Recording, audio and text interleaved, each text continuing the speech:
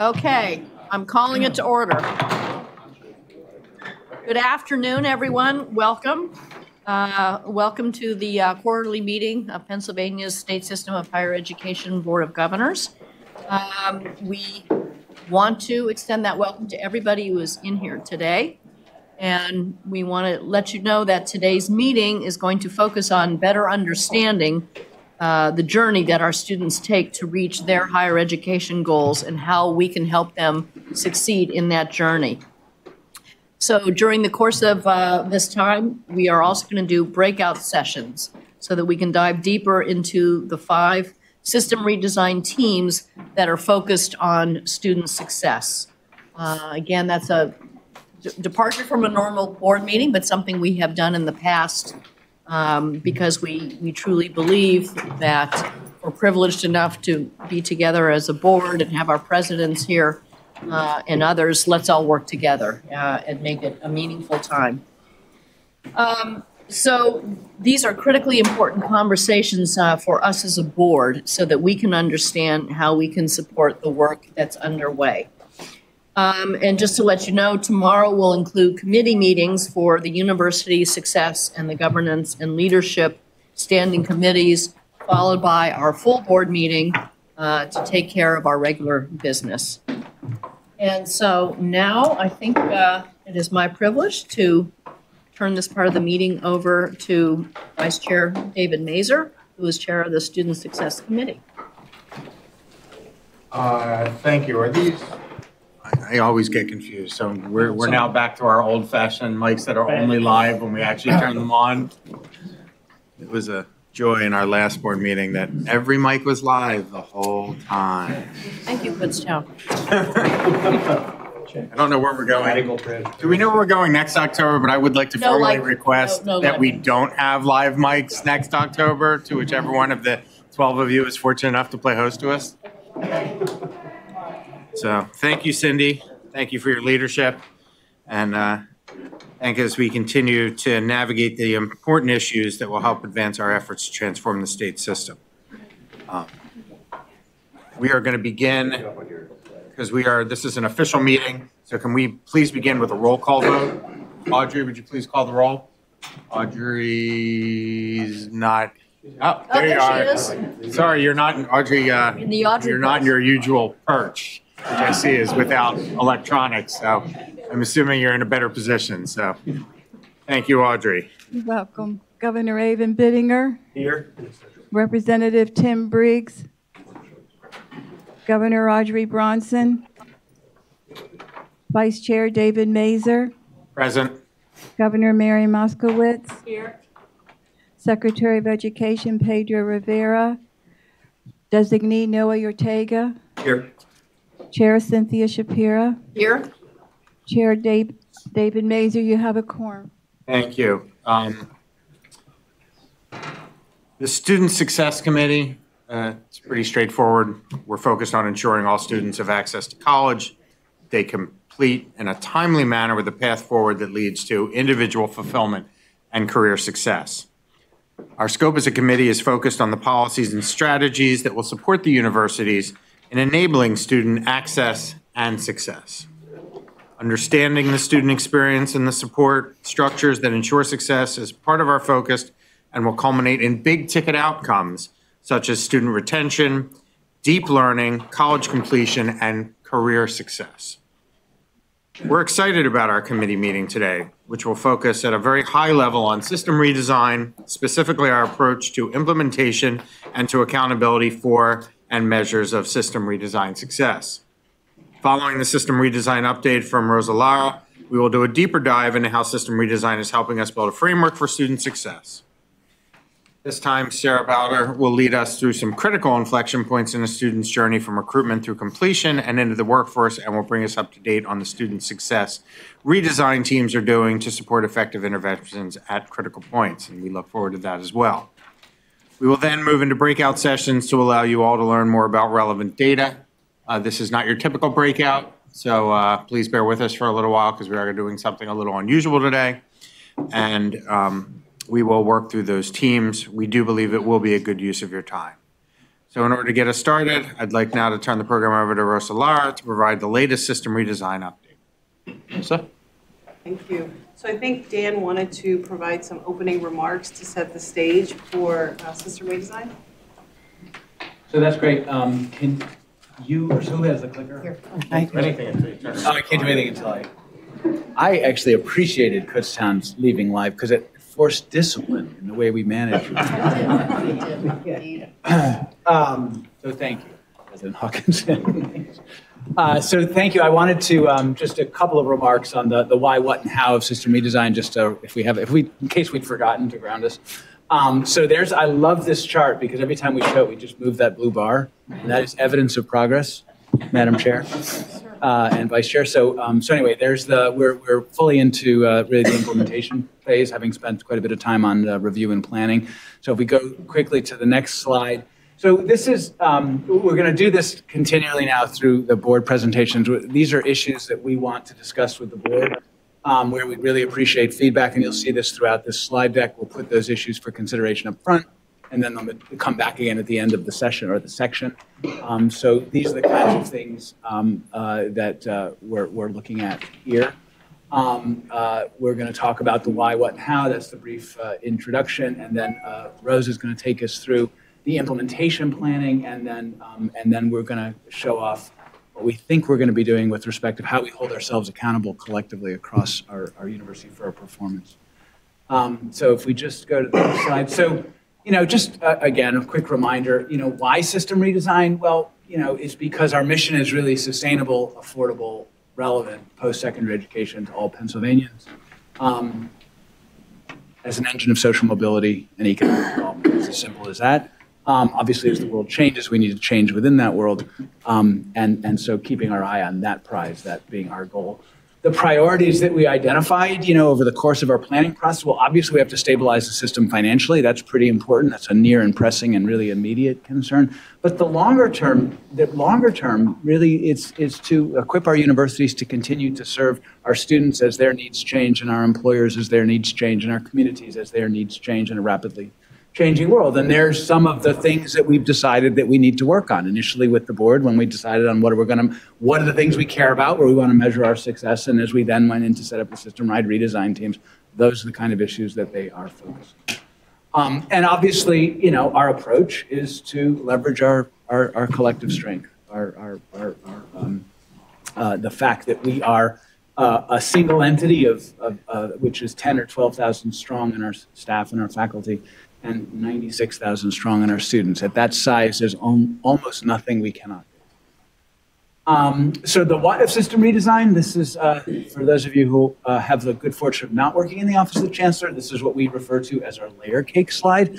It's the, you know, the five areas where we're operating in order to deliver against those goals shown on the previous slide. They're all important, they're all related. Uh, with going through each of those, uh, each of the uh, work in each of those areas is intended to achieve our financial stabilization and then ultimately to continue our university's transformation and service to the Commonwealth. Um, we've spoken at length about them. They're shown here in abbreviated form uh, with the, the portfolio on the left, strengthening uh, governance and accountability, building a shared infrastructure, et cetera, and the sort of high-level goals we'd expect to see from that uh, on the right. That's the what of our system redesign. And this is a uh, sort of what's beginning uh, through our experience, and I think we've already al- always known, our understanding that the systems redesign, our success is a shared accountability. And this is an important kind of concept that we're all, I think, beginning to grapple with our faculty, our staff, our employees, the board that this is no longer a responsibility of the system office. This is no longer just a responsibility of the presidents or, or, or it's our collective responsibility. All of us have a role to play. And the things that we have managed to accomplish, even in our first real sort of a aggressive planning year around this, we've managed to accomplish them because we've worked really well together. That doesn't mean we've always agreed with each other, but it means that we've managed to, to, to flesh out the challenges and issues and to come up with solutions. We're all recognizing our distinctive roles. Just a couple of examples of things on our horizon to kind of make that point concretely. Um, we're having a conversation with some geoscientists, ge- geoscientists about doing some really cool academic, you know, educational programming for high-need individuals, you know, in areas that would lead directly to jobs, short course certificate stuff. This is an initiative that has kind of come up from individuals, right? But for it to succeed, it requires universities to, you know, engage in a way that supports those individuals doing that work. And the system is going to have to clear a path, right? Because there's some things that need to happen for a shared academic program to work. So all of us have a collective responsibility in making that work. Sustainability planning was, you know, a really uh, an effort where we put ourselves on the path where our, our universities are and beginning to think really carefully and creatively about how to get themselves on a financially sustainable footing. That conversation has been going on for months and it has involved input at each of those levels. Its success will be our responsibility. And this is a hard thing for us to do. Move to a point where that is their problem, that is their issue, that is their responsibility. This is our issue. This is our responsibility. What works well is when we lean in together, negotiate the challenges, find plausible paths forward. What works um, badly, and it happens sometimes, is where we hear people say, oh, well, that's neighbor university, that's their problem. Or that's the chancellor's office. Or, well, that's those, those people over there. These, these, these issues are challenging for them to work. They involve and engage all of us. So as we begin to think in this third section about our accountability, how we hold ourselves accountable, we're trying to build an accountability framework that operates at all three of those levels. So we'll begin to see, uh, we'll see that slide, sometimes with more words on it, uh, in the course of the next uh, bit. I think that was my bit, but if you go to the next slide, Rosa. I knew it. Very good. Thank you, Dan. Just in case anyone was worried, we have three hours to get through all of this, so Dan adding all of that, we'll probably only finish in three and a half. I was controlling myself. My script was much longer. Very good, thank you. So during this part of the presentation, it'll be delivered in two parts. Uh, During my part, I'll talk about the system redesign implementation plan that we've been working uh, through over the past year, the approach we took, the initiatives, how we've structured the plan. And Kate Akers, the director of the Advanced Analytics Team, is going to talk about an evaluation framework that we've conceptualized to evaluate ourselves against the plan. Before I begin, I do want to take a moment to thank all of the university participants that have um, been involved throughout this entire year of, of uh, system redesign planning.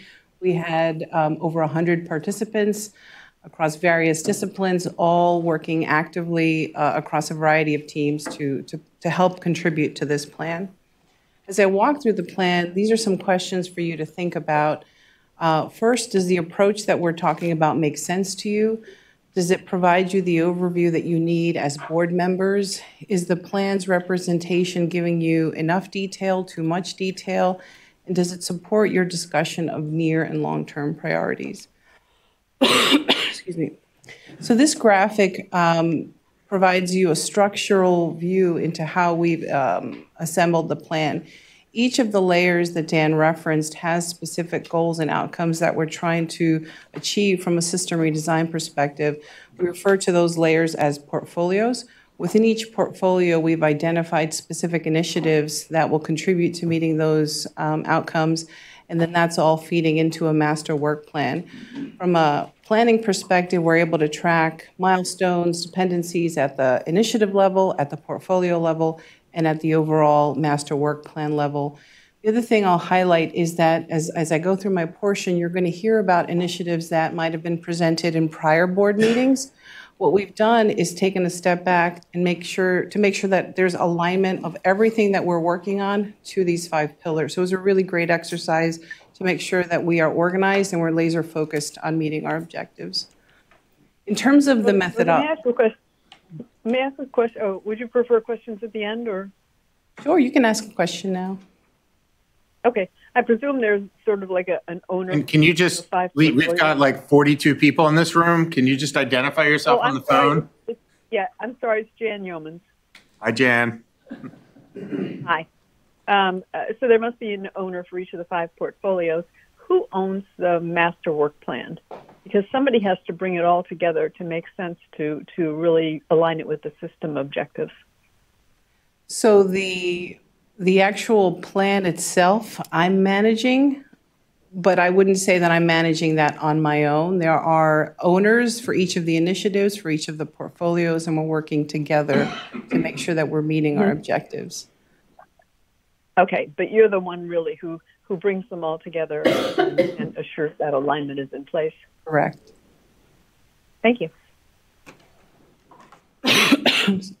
So from a plan methodology perspective, we spent a lot of time thinking about short-term versus long-term outcomes with our initiatives and what we're trying to achieve. And we recognized for a number of initiatives that there are foundational processes, um, policies, structures, in some cases, organizational structures, um, technology enablement that needs to be done before we can realize the more transformational goals and outcomes of redesign. So we've referred to that foundational um, body of work as Wave Zero. And you'll see that throughout, that some of these initiatives are really focusing on foundational items before we can get to um, the longer term outcomes.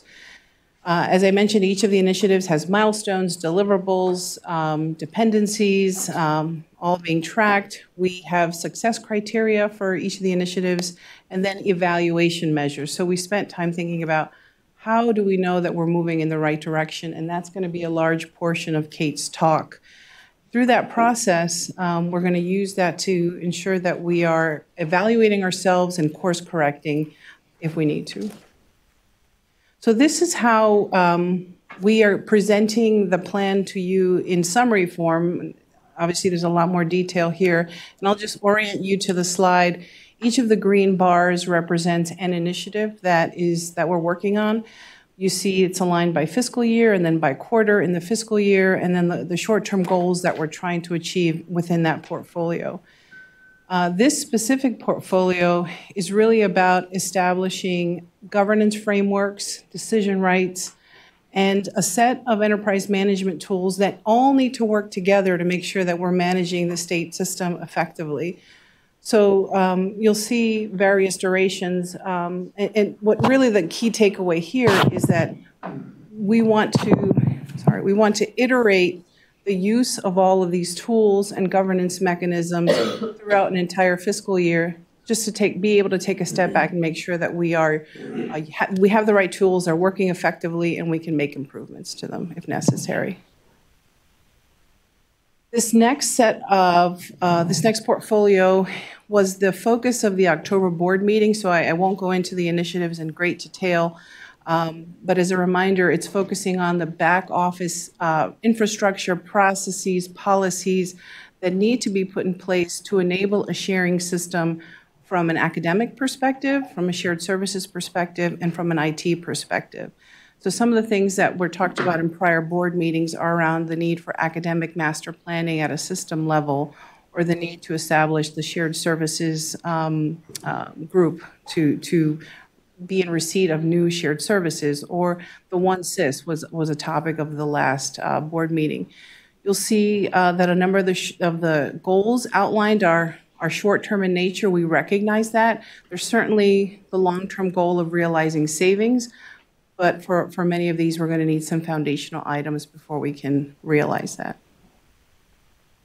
This third portfolio is focused on identifying initiatives that improve retention, completion, career readiness, and affordability. There's two streams of work here. The first is uh, on developmental education math. Uh, One of the redesign teams that was formed last year included multiple university participants to assess what the system was doing in this area and what techniques were being done for placement and what outcomes we were able to realize for students. And we saw that there was a lot of opportunity for improvement that was then matched against national best practice data. And the team made some, some really great recommendations that were put forward. It was fortunate that a grant opportunity was made available right as that team was ramping down, uh, where a funder was looking for large state systems to invest in um, proving out some of those national best practices. And we were lucky enough to, to go after that grant funding, uh, and now we're waiting to hear back to see if, if uh, we'll be able to test out some of those hypotheses. So it's a really nice full circle example of system redesign in action. And you'll, you'll hear more about this work. There's one of the breakout groups is focused on this topic. The other stream of work is related to student success and retention. Before the holidays, uh, four redesign teams were formed, focusing on holistic advising, financial aid and affordability, mental health and wellness, and workforce readiness. So we have university professionals uh, looking at this topic, assessing the current state, looking at national best practices, and we expect them to come forward with pilot opportunities that would be tracked and managed in this portfolio. And again, that's also going to be related to the work breakout groups that you'll hear about shortly. The fourth portfolio is focused on improving our organizational performance through employee engagement, satisfaction, talent recruitment, and development. Um, the main body of work here is around uh, an employee engagement survey that was issued to all state system employees. The results have come in, and you are going to see some of those findings during tomorrow's portion of the board agenda. So the next body of work is to develop action plans around those survey results to see how we can make improvements in terms of our employee engagement and satisfaction. So that's one, one uh, body of work. The second is related to developing a system-wide training and development strategy. We recognize that training is also a key component of, of employee satisfaction and retention. Um, additional planning and scoping is needed in this space. We didn't want to lose sight of it, so uh, we kept it here, but more to come on that topic. And then the last portfolio is focused on two main pieces of work. The first is on building an advocacy strategy so that stakeholders outside of the state system um, uh, uh, can understand the system redesign goals and, and journey. We can garner support for what we're trying to do and have that help improve not only getting additional investment into the system, but also helping pass the legislation that was recently introduced. The last body of work is just a continued strategic communications campaign to keep all stakeholders, both internal and external, informed as we progress through system redesign. So that's my portion of the presentation. I can pause for questions, or we can do them after Kate does her talk. Any questions now, Madam Chair? Thanks very much, Rosa. Really appreciate that. Um, Very, very thorough. Uh, Right, okay. You got back to that, baby. Okay. Um, uh, I, uh, you know, I think it is a good overview. Um, It is an overview, and, and so, you know, we'll, we'll want more details as we get further into it. I did have a question specifically with regard to uh, and, and you, you might have commented on this, so repeat it if you did. But um, the uh, Student Success and Retention Initiative uh, just has a big TBD uh, with it.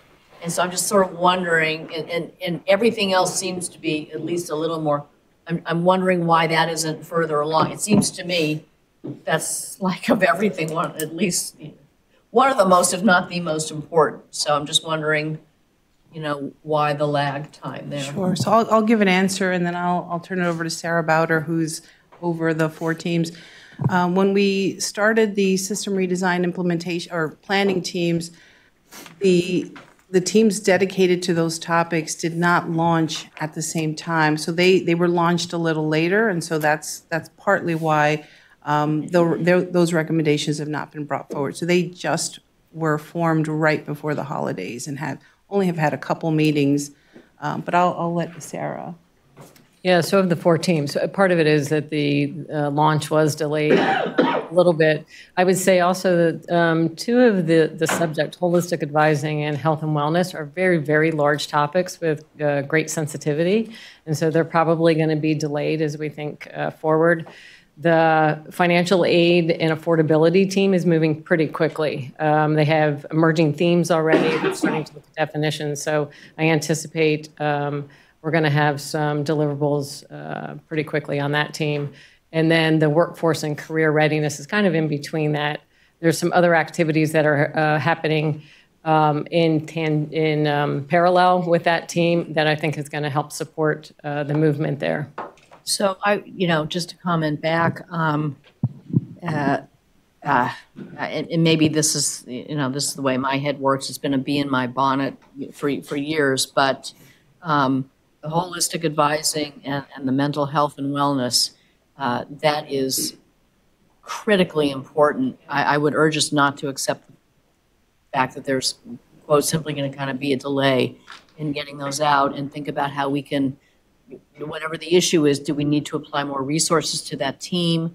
You know, I, whatever might be, aside from sensitivities, I understand that, but um, uh, we, that, that's, with, with, without addressing that, I, I don't think our student success uh, outcomes can truly be addressed. So I would just urge us to think about whatever the barriers are uh, to moving forward very um, fulsomely with that.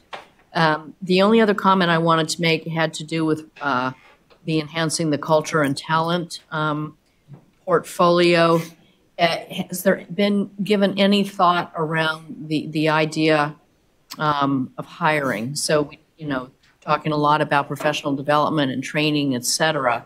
Um, I, I think that there's a lot kind of in the not that I'm an expert in this, but I am sort of dealing with this, you know, with other hats I'm wearing, uh, with, with the idea of, of how you hire in the first place, you know, when you have control over that. But uh, I, I think hiring is um, is just an element that I would think about um, adding to that as we develop um, this this initiative. And there are also lots of best practices examples out there. You know, uh, like Disney, for example, um, is known to be you know one of the best at hiring um, and and supporting talent, et cetera. So I'm just hoping you know that we look for examples outside of uh, higher education when we're thinking about developing that module.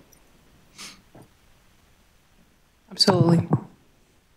I have a question. Well, first observation that I have to agree with Cindy on the holistic advising and the mental health and emotional wellness. Those are two um, major issues that students have. I think that greatly impact them at the local level. That when we have student governments, when we have to deal with issues, advising and and mental health and emotional wellness are ones that are major impacts on students staying and succeeding at their time at the PASSHE schools. But also, I, I have my question is, what is the composition of the uh, student success team? Who who comprises that? What is their backgrounds? Yeah, so we have a broad range of um, members on each of the teams. They go across all of the campuses. Uh, many of them are subject matter experts um, and then others that are tangential but touch, you know, whether it's affordability. Um, so, and then they're bringing in some support groups um, and other uh, university experts to get voices at the table. Thank you. Yeah, and they were they were um, selected by the presidents, and so um, really quite pleased with with who's involved. I think it's also interesting, worth pointing out that whatever we're a, several months, almost a year in, um, so we're in a position where we can begin to di- like what worked and what didn't. And, and so we're actually beginning to have those conversations. We need to do it more holistically. You know, some teams just get off the ground. I mean, we talked about developmental education, the investment team, the budget team. I mean, they just knock it out of the park. And and then other teams struggle to get started. To be perfectly honest, it's not about the personalities; it's about the the teamness of it.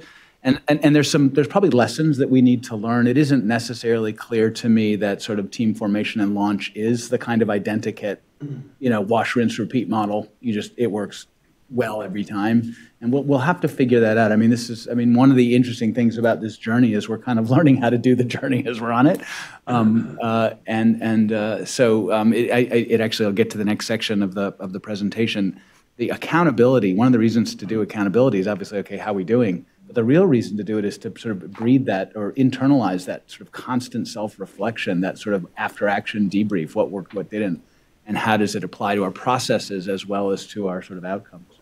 So it's a great question. Madam Chair, may I just, uh, I think something, and I know you asked us to think about some questions, but one thing to, that is, may become problematic because we're going to be discussing these kinds of accountability, accountability measures in the form of a boardroom where there's a number of folks who have different perspectives when they see initiatives. Uh, I want to make sure that we, what's not lost in the conversation is when we're talking about some of these initiatives is at the system level and not the institutional level. This way, there isn't a perception that I think mental health is a really important topic, but it's not to say that it's not being addressed at the institutional level by our leaders where it's needed the most. And I think that distinction is going to become blurred if we don't find a way to account for that, it may be in the form of an ecology of some sort, just to make sure that that, uh, that that isn't lost. Because I don't want people to walk away from these meetings thinking that it's not, because the system did not develop an initiative, doesn't mean that the institutions aren't on it. That's great. And, and I want to, I, I just, in the interest of full transparency, I did not, we didn't plan this, Deputy Secretary and I did not get together and plan that question. But that is in effect the essence of what is called inside the Office of the Chancellor the swirly slide, which shows the shared accountability of university system individual. Um, universities are doing great work in many of these areas. Individuals are doing great work in many of these areas. The system is doing you know, okay work in many of these areas. Um, but for this to, for the, for, for advising is the example on the table, but it could be any of the things we're talking about. For them to take root and to achieve a high level of scaled impact, it can't just be left to the individual, the university, or the system. We all have to figure out how to operate together. And it's that operating together, frankly, the secret sauce of system redesign to me is that. Absent that, will be a, uh, it used to be a cabinet of curiosities and innovation. Great. Thank you for the questions and the discussion. I'm now going to turn over to Kate Akers. And yes, he wasn't kidding. We we certainly didn't plan that, but that really leads us right into really just kind of some ideas that we have around an accountability framework. So the question really is how do we hold ourselves accountable? And then the we there as you as you just described, it's many different types of we. So if we go back to what we call that swirly si- slide that I'll get to in just a minute, um, thinking about these various levels um, will be really important as we think about the implementation plan for system redesign. So before we dive into that, um, some real issues for consideration. So knowing that we are we're kind of bringing these pieces up together. So those of you that are familiar with an evaluation framework know the the significance of that and the importance of that, and really setting how will we hold ourselves accountable while we are also implementing, so we can understand really what that north star is. So I, I want to make sure and note that today. Um, so, so three of the the main kind of questions that I want you to keep in the back of your mind, and then we'll we will come back to those at the end of this kind of um, draft uh, framework. Are we aligned on our critical assumptions? So one of those assumptions is that swirly slide. So thinking about um, those levels of accountability um, and how they really work together. And then we have the question of are we measuring the right things? Are, are, when we talk about accountability from an evaluation framework, are the metrics that we're looking at the ones that really are our guiding star? Um, or do we see any unintended consequences from identifying those specifically as our metrics? And then the last piece um, is one one that that that we certainly struggled with, and it's thinking about assessing system redesign work on strengthening governance and accountability. So as we began to think about what some of those metrics were, and you'll see this a little bit later, they're they're very qualitative, and which which I think is is, is a wonderful evaluation design, but really thinking about how do we really assess that that that specific area in the layer cake um, is is moving forward. Okay, so now back to where we were five minutes ago um, and thinking about this accountability framework. So in front of you, you see that same, the swirly slide, um, and thinking about these kind of three pieces. And I, I don't really think about it as different tiers, um, but really how they are all working together. Um, that's the, the swirl. So um, today we're going to talk a little bit about a draft evaluation framework.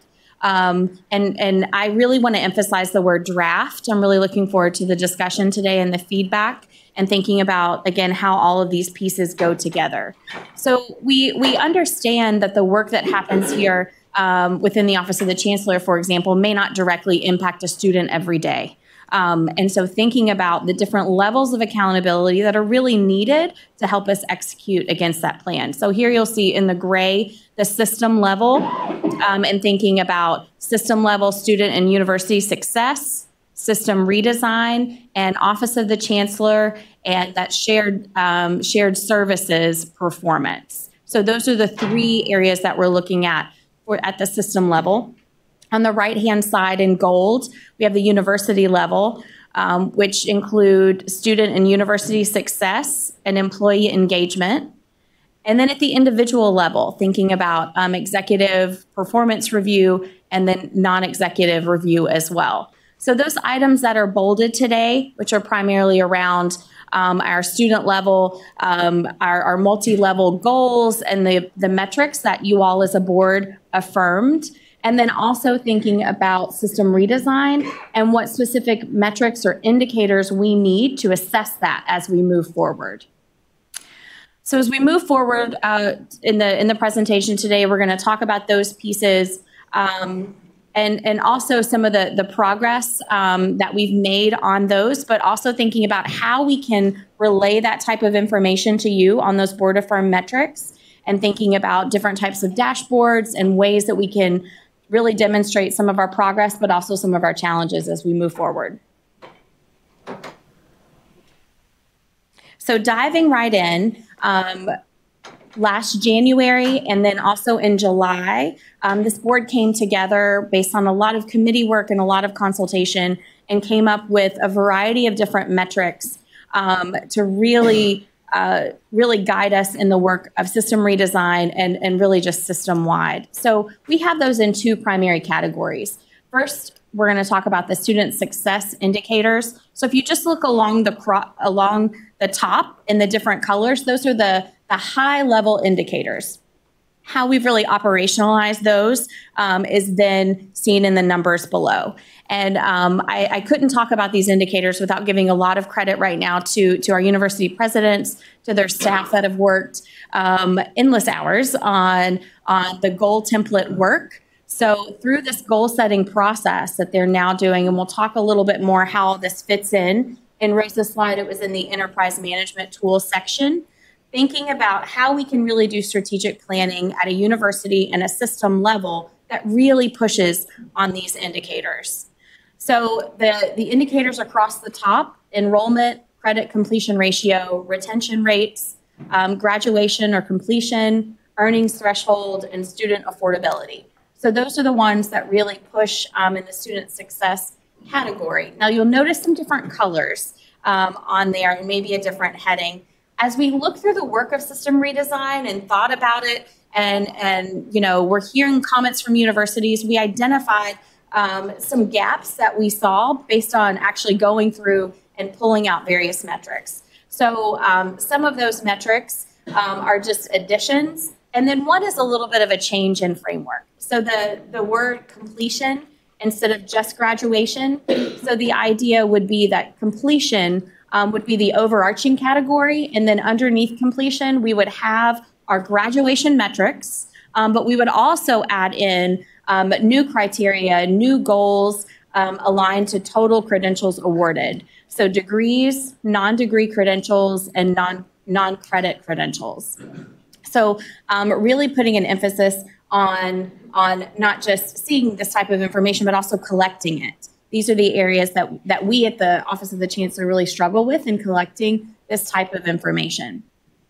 And then down below that, you'll also see credentials produced through jointly managed programs. So I think as evidenced in the, the, the State of the System address and thinking about the importance of that um, and, and seeing what these jointly managed programs look like and setting baseline and then goals for those um, would also fall within the completion, um, the completion kind of column there.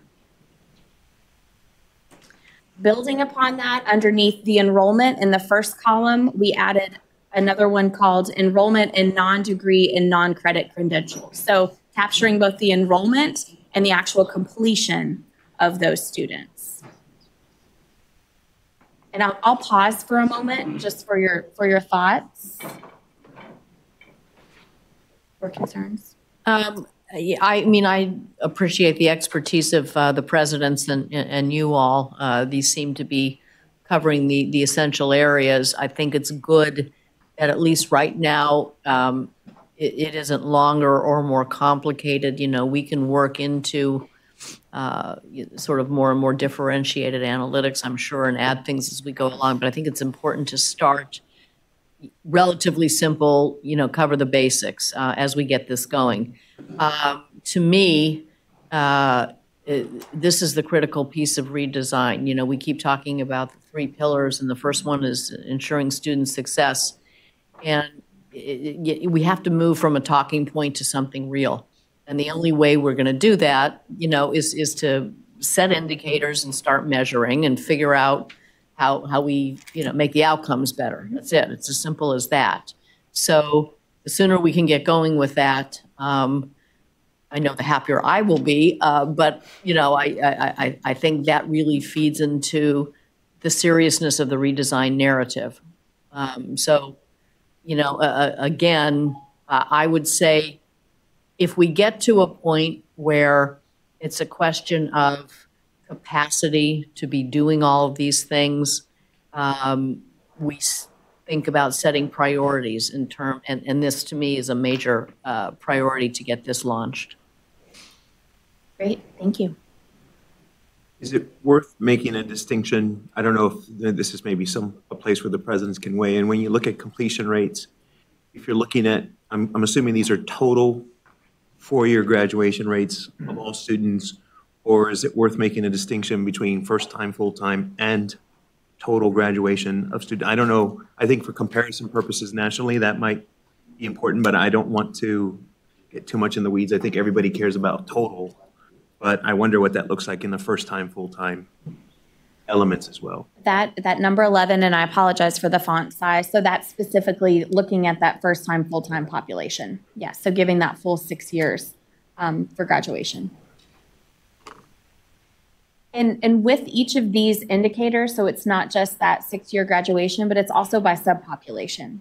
So thinking about basic demographic, um, socioeconomic, those different types of statuses, and looking at those graduation rates um, and then giving our campuses the opportunity to identify strategies um, that, that they have to really address any gaps within those. And just to remind folks, um, you know, we began on this goal-setting process a while ago, and uh, those goals, we will see first sight of them Friday. Friday from the universities. Oh. So we asked universities to set goals using disaggregated data and a Fantastic. common set of measures, and so we'll be, Great. you know, from, I mean, this is hence the conversation about the accountability framework, because now we're in a position to pull those together and create a dashboard, and then have a conversation about, is this enough? And should we be pushing harder? Should we be relaxing, dialing back? Um, So, so we're sort of beginning to have a conversation with the board about, okay, well, what does that dashboard look like? What do we do with it? So, so this is, while it is framing a conversation that we'll have in April or July, can't remember, um, it is, it is something which we will begin populating on Friday. Yes, that is correct. And, and, and, and many of our campuses have, have already submitted theirs as well. Um, and, and continue to ask really great questions about the process. And as we continue to refine that process, um, I, I really appreciate the partnership that we've had um, within that. So thank you all. So I'll kind of go to, to the next slide, which is talking about university success indicators. So we talked about the student success indicators. Um, these that um, the majority of which have some sort of um, fiscal impact. So university financial strengths. Those are your uh, the primary reserve ratio, net operating revenues ratio, and viability ratios. Um, then we have our alternative revenue streams, student support ratios, and financial efficiency. Um, as we began to again kind of look at system redesign and that implementation plan, and then thinking about really what was missing, we noticed that there was no um, kind of high level grouping about employee engagement. So thinking about an, an additional indicator there around just that that overall employee engagement score. Tomorrow we're going to talk a little bit more about the survey and the results. Um, but this would give a place for us to really begin to look at that. Um, as the chancellor alluded to, those dashboards and thinking about how we will really show the progress um, and challenges that we that we're having within these indicators. This would allow us also to have another category specifically about employee engagement, so we could see that progress. Please. I have uh, just a comment. As, as chair of the University Success Committee, I would, I would argue that everything, you almost, I think everything you showed for enrollment and for retention on the previous chart for the other committee really holds towards university success because it boils down to basically having students enrolled and, and sticking with us. So to me, that's, that's the, one of the biggest measures of financial success for universities. And uh, we didn't do this artfully well. Apologies to the presidents, but also thank you for your patience. Um, But the objective has always been, and we will deliver on it next year, is that those, these goals and those budgets will align. Not only will they align, they will be developed and reviewed, ass- assessed at the university level as part of a singular process, so that that synergy is not, is, is, is, so, so that we're setting goals while we're thinking about budgets and looking at budgets when we're thinking about student success goals. It's a great point. I just want to, um, on the employee engagement side, uh, I, I, I don't know exactly what you're doing uh, to engage employers, but are we looking at also the future, what's expected to come in in areas, as areas are transitioning, uh, certainly in the center of the state where there's the coal and the, and the fracking industry, what that's going to look like in the next five to 10 years. So would help us be a predictor of the employees and what those students are going to need to be sure. successful in those areas. So I think that, I think that that is, um, if we go, if I go back a slide, under, um, right now it's just called earnings threshold. I would assume that that will evolve, um, also with the work of the workforce, um, group under student success and thinking about what specific metrics would we put then under there in just addition to an earnings threshold, but really about meeting the needs of the Commonwealth. And so that would be different in different That would be areas. different, yes, by, by area as well. And so with this, this employee engagement is, is speaking specifically about our employees of the system and at our universities. Does that answer your question a little bit? Great question.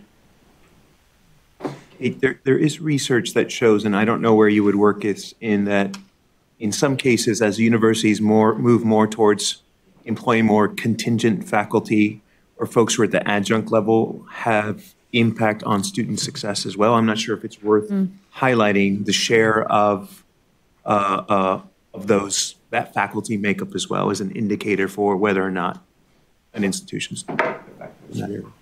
That's very helpful.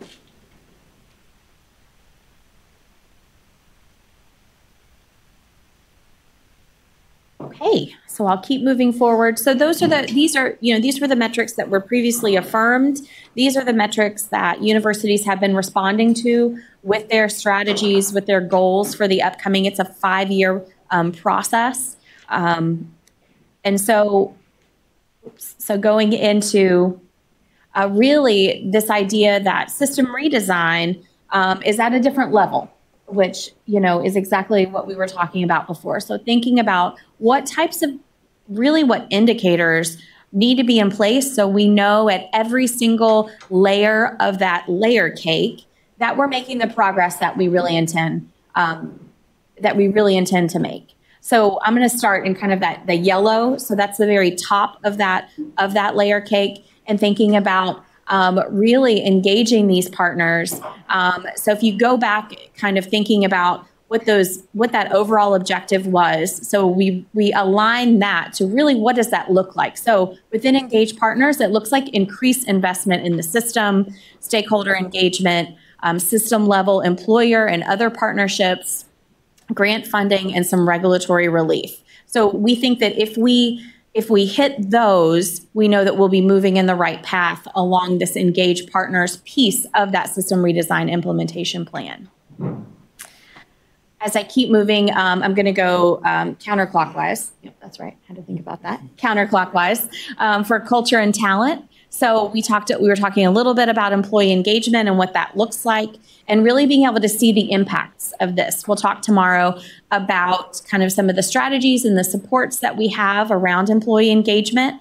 Um, so not just the survey itself that that was given, but also really what supports are in place and what types of training, and then really thinking about that the measure for that is this improved overall employee engagement, but also that of the ready, willing, and able survey. So as we see movement along those pathways to us, that'll signal that culture and talent, um, that, the, the work that's going on through the implementation plan is headed in the right direction.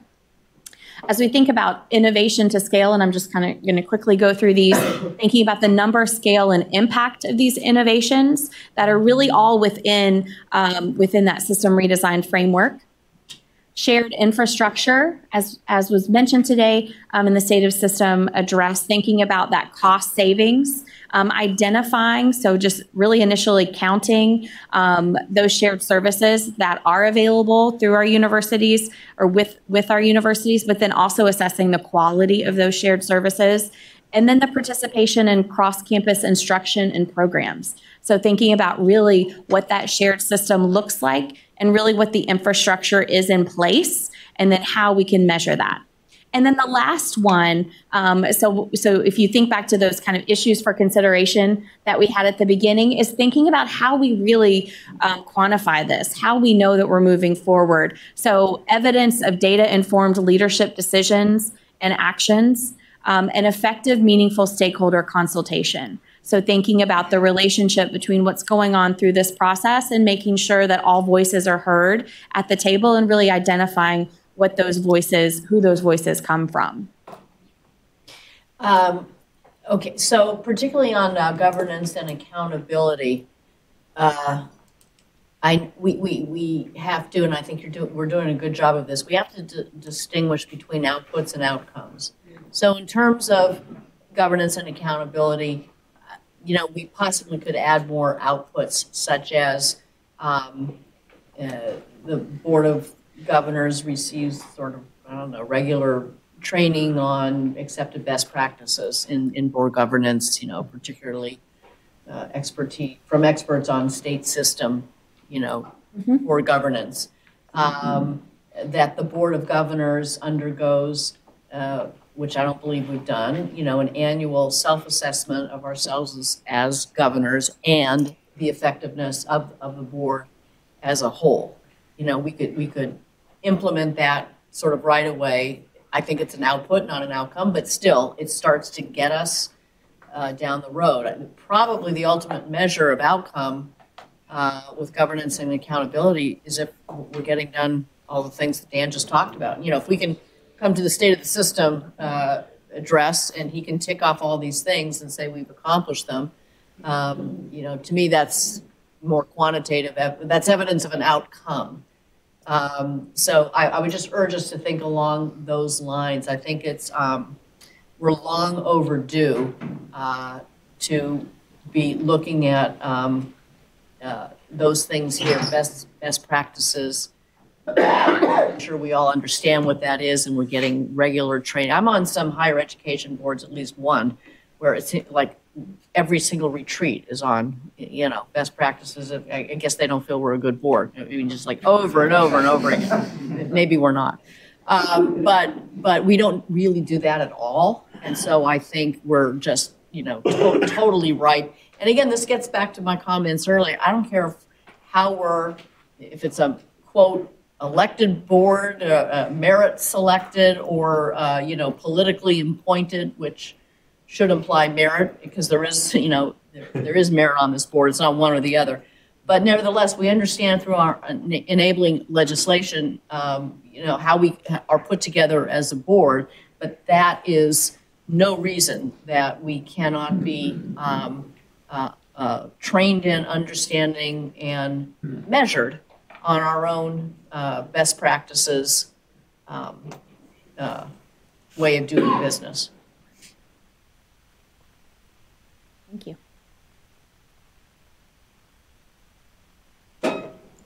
All right. So thinking about next steps, and then we'll go back again and think about those those initi- those issues that that we were talking about earlier. So some of this was alluded to earlier as well, and this thought that that really bringing together the goal setting and the budget timelines and processes. And so I emphasize both of those. So so timelines meaning things are due at the same time, and then those processes leading up to that, that the information is given, it's submitted together, um, and really allowing that collaboration that happens within campuses to be reflected in in our processes here. Um, of course, engaging stakeholders and consultation on system redesign effectiveness measures. So that's part of what we're doing today and what we continue to do as we think about how we really hold ourselves accountable through the system redesign lens. Um, and then our set, you know, really to develop draft indicators for the Office of the Chancellor and shared services for stakeholder review and discussion in July. If you think back to that the swirly slide with all the words. So there were some of those that were grayed out, and one of those sets were Office of the Chancellor and Shared Services. So thinking, you know, that we really kind of need to do some draft work here on really how do we hold those specific groups accountable um, within that within that framework.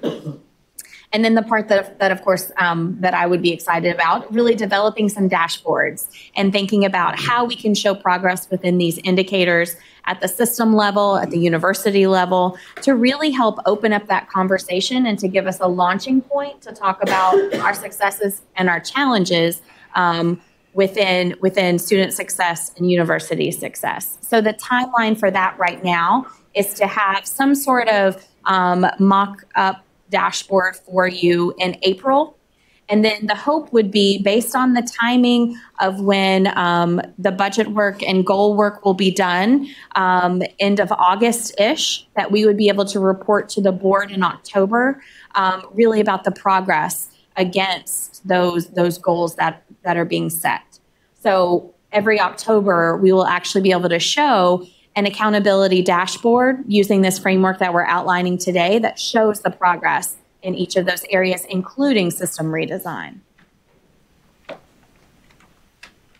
Can I point out for the benefit of the chair? Which chair? Uh, Both. April 2020. April. Thank you. Thank you. Thank you. That's, that's next meeting. Aren't you excited? Keep, move, move, move. Good. It's like a coming attraction. Yeah. It's, it's, it's a tease. I We're bet. moving. We're Caramel popcorn is all it would take to like put Thank that you. over the top. It's never fast enough for me. And then you have to appreciate that we're not even going to wait till the next year to like fully launch into our cycle. Nope, we're just going to go for it right in October. So, so hopefully, um, you know, getting getting your feedback at that April meeting will let us just really accelerate that, so that in our discussion in October, we will actually have two years of the goal setting process under our belts. And just add, I think, you know, the, the conversation in April is to obviously look at the dashboard and how beautiful it is and admire it and, you know, claim victory. I think the real conversation is what do we do with it? And, and honestly, that's what does the board do with it? I mean, how do we integrate an understanding of our goals, whether student success, university success, and our effectiveness moving system redesign? How do we, what do we do with those numbers when we're making the critical decisions that the board needs to make, which all have to do with money, you know, ultimately. So. Great. So then going back to our questions to consider, um, you know, these, these critical assumptions that we're setting forth with that swirly slide. I think is that just, that's officially what we're going to call it. So the swirly slide um, and thinking about really the partnership that occurs in between um, all, all those groups at the system level, the university level, and then at the individual level as an assumption. And then taking that and not only using that for our accountability framework, but also really as we think about some of these other um, implementations that we have.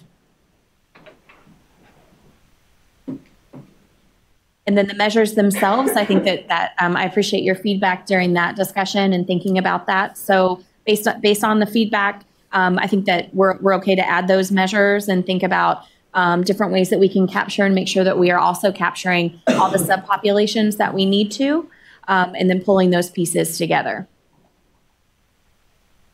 Any other questions or? All right, great. Well, with that, I'm going to pass it back to Sarah, I believe. Is that right? Or do we? We're back to the chair. Back to the chair. Thank you. Thank you very much. Sarah? Thank you. I I got to follow my script and I say, thank you, Governor Maser. So, so just so you all understand, we have a script. We had a, we had a call to prepare for this. We had a lovely conversation about all of this. And in all of the advanced planning, it was Sarah, it was uh, Rosa to me, to Sarah. Katie got thrown in the middle and then threw it back to me, so now I get to throw it back to Sarah. So, with that as background, ladies and gentlemen, Sarah Bottom. Thank you. Good. I can follow my script. Thank you, Governor Maser. And, And and I for the actually- record, Dan was not anywhere in any of our scripts, so. That's true. Thank you for that ad lib, Mr. Chancellor. And, and and really, uh, Governor Maser, thank you for the uh, conversations and helping set up this um, presentation. Um, so I want to give you a bit of a roadmap. This presentation is divided into four different sections, all of them an hour long. They're really not. They're like 10 minutes. Um, so I'm going to set the baseline really with looking at a quick recap backwards to go forward and look at a framework. I'm then going to pass it over to Kate, who's, who is going to present a um, student journey with data visualization and look at the inflection points for our students. Um, and then we have a really special treat where we have five university experts who sit on the system uh, redesign teams who are going to be making that data pop with some student personas that'll make it real. What is our students going through, and how do our uh, student success efforts actually shore up those students? Um, and then we, I assume we're going to take a break at that point as we go into um, the rooms that you want to go to to see a deep dive on any one of the, the five system redesign uh, solution sets um, where you'll get national data, um, the Pennsylvania state system data, and then open it up to, to some questions. Can you do the clicker? Yeah, cool. Um, so I want to get us started with um, these top four questions, and I want to use these as really a filter as we have this presentation for you to start thinking about. And what do you think are the state system's strengths relative to student success? Where are opportunities? As you're listening to this presentation, you may have an aha moment where you're pretty surprised about something or um, are interested in it. Jot those down. And then um, the big thing is what do you think is missing? Where are the gaps? What is it that is our blind spot that you're seeing that you think we should possibly address? Um, when we do go into the breakout groups, you'll have an opportunity to talk about these questions again um, in a deep dive. You can go to the next one. So, for those of you who are new to the board or were not here in 2018, such as me, I thought what we would quickly do is take a minute and just do a recap and look backwards and um, see where we were to, to where we became uh, today. And so, um, back in April, this is the student success definition and the mission that was decided upon. There was a cohort of uh, university experts. Um, uh, Penn, uh, Office of the Chancellor experts and others who were part of a task group that looked at what is student success. And what's really fascinating for me as coming in and having been here a year is that this highlights that student success is not just an initiative, but is actually our core values and our core, um, what is at the core of what we do. So both at the system level and at the university level, it's our core business. For, um, also, as we go through this presentation, what you're going to see is that these core tenets pop as we go along. You're going to start to see that this, there's a, a, fluidity and a theme that goes through this. And so I want to read it to you. Um, our 14 state system universities provide access to high value, relevant educational experiences that prepare our students in a timely manner for pathways to successful lives and careers. Very good foundational set. So when we think about, you can, sorry, can go to the next one. There we go. So that definition sets the groundwork and is the cornerstone to what now has become a framework, a student success framework. And there's a lot packed in this slide, so I want to walk you through it. And I want to start with the blue box on the left-hand side uh, with the two words guided pathways. And many of you may be familiar with Guided Pathways. Uh, for those of you who are not, it's actually a national student success model. It's uh, very structured education um, where, from the access point through the experience while you're going to college or getting a credential to the exit point. And so, with that guided pathway, um, four principles, or you could think of them as tenets or values, kind of rise to the top. And these tenets connect directly with our priorities. And so I want to walk you through them. Everyone has potential to be a lifelong learner. Um, in, in many of our other board meetings, and Dan at the State of the System address highlighted this, is that upskilling and reskilling the workforce is going to be critically important as technology becomes more prevalent. And so, what are the markets that we could address, recognizing that everybody can be a lifelong learner? Learning happens along life's journey. We know this, that learning happens inside the classroom and outside the classroom. And so, how is it that we can adequately assess the competencies and skills that are learned outside the classroom. Um, I'll give you a good example just of my own personal experience. When I was getting my undergraduate, I had three kids. I was getting a degree in literature. I had to take a childhood literature class. I walked in, there was 25 people in the room, and we had to go around and quickly say something about ourselves. And I said, you know, I have three kids. And Michael Glazier, who is the professor, goes to his drawer, picks out his um, final, says, go into another room and take it. I want to see how you do. And I aced it. And he said, you don't need to be here. I'll give you the credits. And so that's competency based education. That's saying you have you brought in knowledge that is can save you seat time and shorten your time to degree based on, on outside the classroom experiences. Um, how and when people learn differs. We hear this all the time. And so this is really getting into a lot of the things that was, again, talked at the um, uh, Dan's speech is in terms of short burst of learning. Um, is it online? Is it blended learning? Is it in the classroom? Do you need a mentor? Those things are really going to be important as we think about the education um, of where we're going. And then last, really, is, is kind of my um, my heart is social and economic mobility should be accessible to all. And this really, really pinpoints our student affordability. It pinpoints the um, that we need to close the attainment gaps for many, and we need to pay attention to that. So that from there, I want to go over to the, what looks like a pretty simple framework, and you say, okay, this is a really cute circle, but there's a lot packed in here. First of all, start in the center. We want everything we do to have every everything we we talk about, everything we do to be with the student in the center. And so access, and the reason it is in a circle is because this can happen at any time. You can access, I call it hop on, hop off. You can come in and come out to an educational experience along the way. And our job is really to retain, complete, have them complete, and then get into the workforce.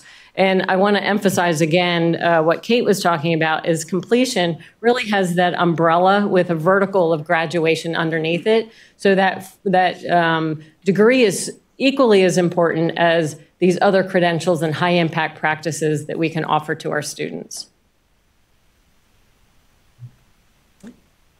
And from there, I am going to turn it over to Kate, um, and she is going to give a data presentation. So I'm going, I'm going to try this from an interactive uh, standpoint. So we'll see how that goes. But if not, you, you do um, have snapshots of these reports um, within the presentation. So I'll be referring to both. Um, so first of all, I want to take us back to this, the circle on the right side and, and thinking about that. So at the state system, we've done a great job of giving you um, standard um, table reports about access, about retention, about completions, and about workforce. What we're going to talk about today is a little bit different.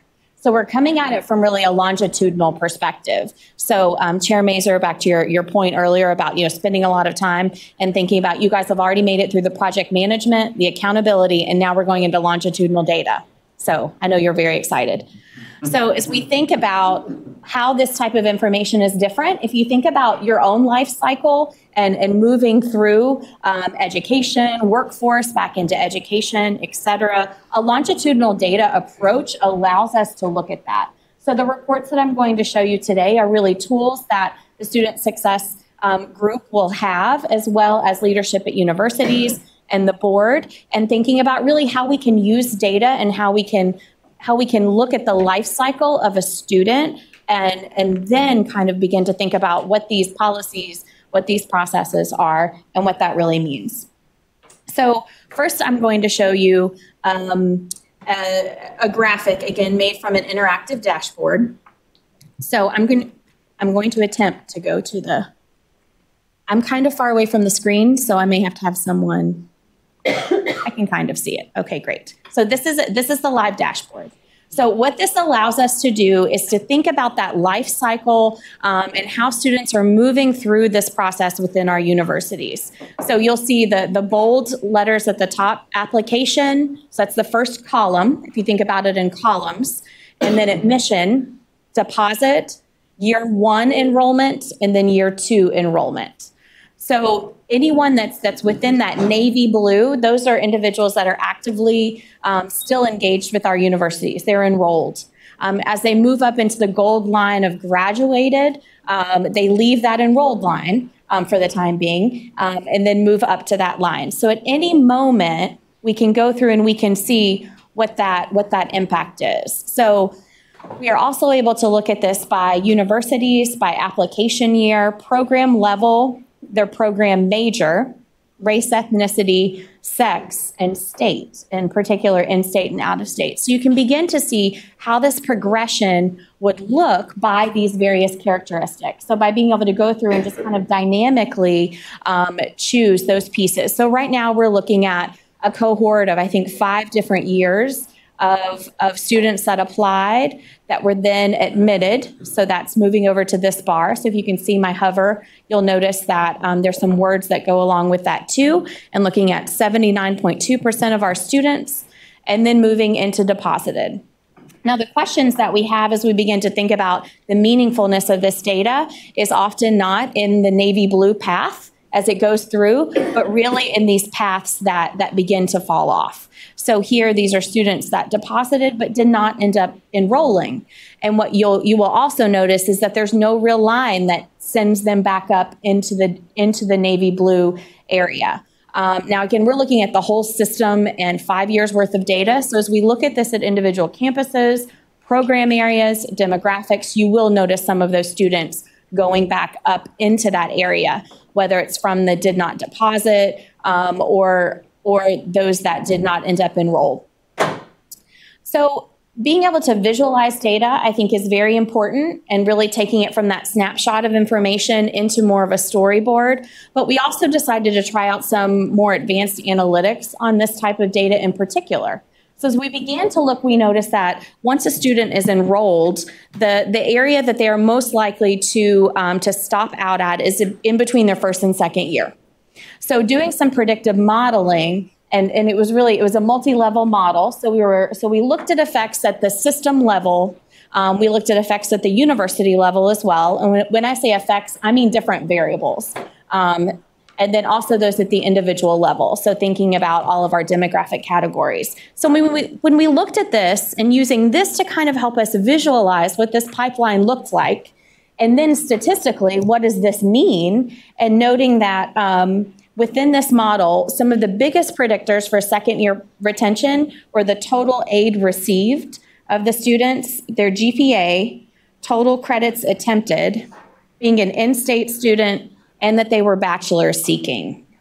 So this was just our first kind of uh, swath at looking at this type of information using um, a tool like this to be able to visualize this pathway, but then also putting a statistical modeling approach on top of it as well so we can actually come out with some of these indicators. So how this works then from the data side, then this type of information is then given over to the student success teams. Um, and then as they continue to ask questions, and then we continue to revise that process. So this is the first um, time that we've really looked at data in this kind of comprehensive picture. Can you show us just a subcategory just to show off the? What would you like to see, Chancellor? I, I don't know, pick your fave. Anybody, any board member want to see a You want to see it? Would anyone like to see a major? See a major, go on. Okay, what would you like? Go to a STEM, STEM. What do you want, Can you pick something specific? Uh, yeah, you need, uh, communications, that's STEM, right? How, Am I typing? so, so Can Kate. someone see? I can't Kate, read what that Kate, says. in- Instead of just blindly diving down the rabbit hole, I assume you've seen this data, correct? Yes. Oh, yes. What jumped out at you that you would like to show us? Well, I, I think that there's a lot to be learned as we look at individual. I'll show math and statistics, by the way. Thank you. That's always a fun one. Um, so, not anything personal to me at all. Um, but I think that the real value is actually not at the system level, but it's getting down into the university level and looking at those subcategories. So, I think that that's something that giving Onward this and tool- downward. That's right. So giving this tool to our universities to be able to use. So, um, so if any IR directors are listening, so I'm, so we are empowering them to have this information and to also be able to look at that by individual institutions. Um, so I think that I think that that's exciting. But this will show you that we can look at math and statistics. We can then even go down into female, which I think is the top one. Um, and then you can see how this pathway, so this is our real data, right? This is our real data about students that applied, were then admitted, um, and then continue to be retained within our system. So I think the next one's even more exciting, Chair Maser. So now, I want you to take a look at that year one column. Everyone see it right here? And that's going to be our starting point for our next, um, for our next visualization. Okay. Gets really exciting.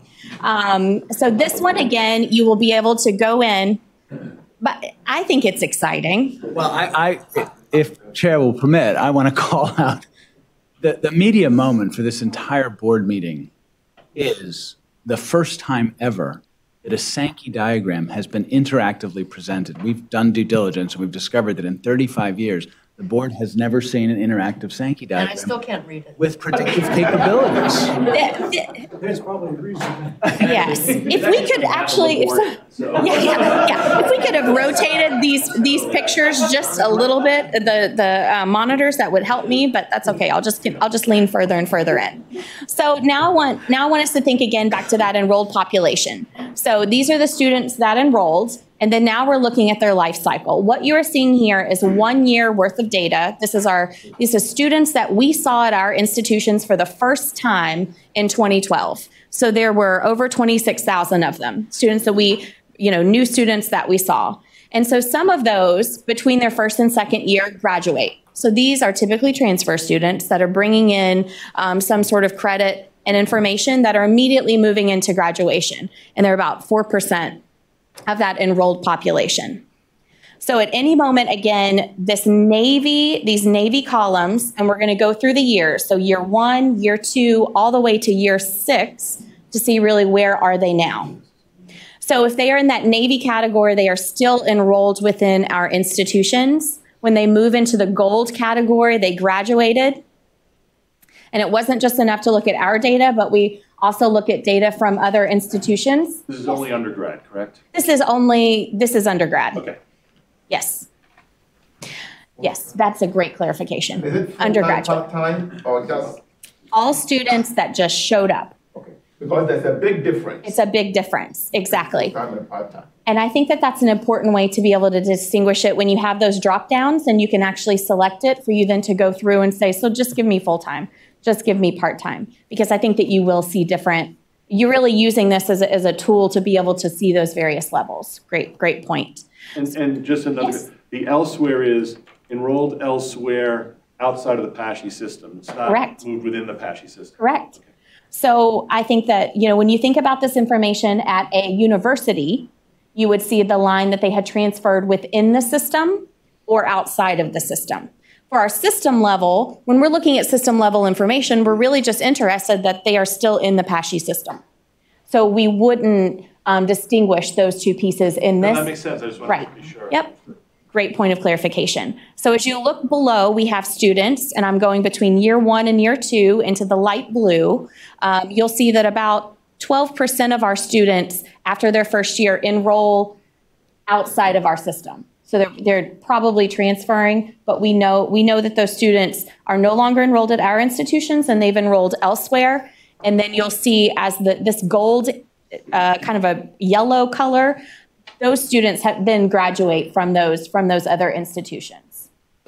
And again, back to that base population in year one, we're talking about students that showed up for the first time at our institution in the fall of 2012. The other piece that's really interesting about, about looking at it like this when we think about graduation rates. So now I'm going now I'm going to go back and kind of relate it to those board affirmed measures. One of those is that six-year graduation rate. The percentages of this are meaningful. So we are so if we had this population here, this is where we start in year one at 100% of our population. And then in year six, when you see 60%, I believe, 60%. So any of these groups, so for example, students that stopped out here at the very bottom, can someone read that percent to me? 15%. 15.4%. So if those students, for example, um, had continued to be enrolled and had graduated, that would have added 15.4% to that six-year graduation rate. So you can go through at any of these points and see, so the Sankey, that's the name of this style of diagram, by the way. Um, anytime you see those, those kind of ribbons come down, that's a meaningful percentage when you think about the graduation.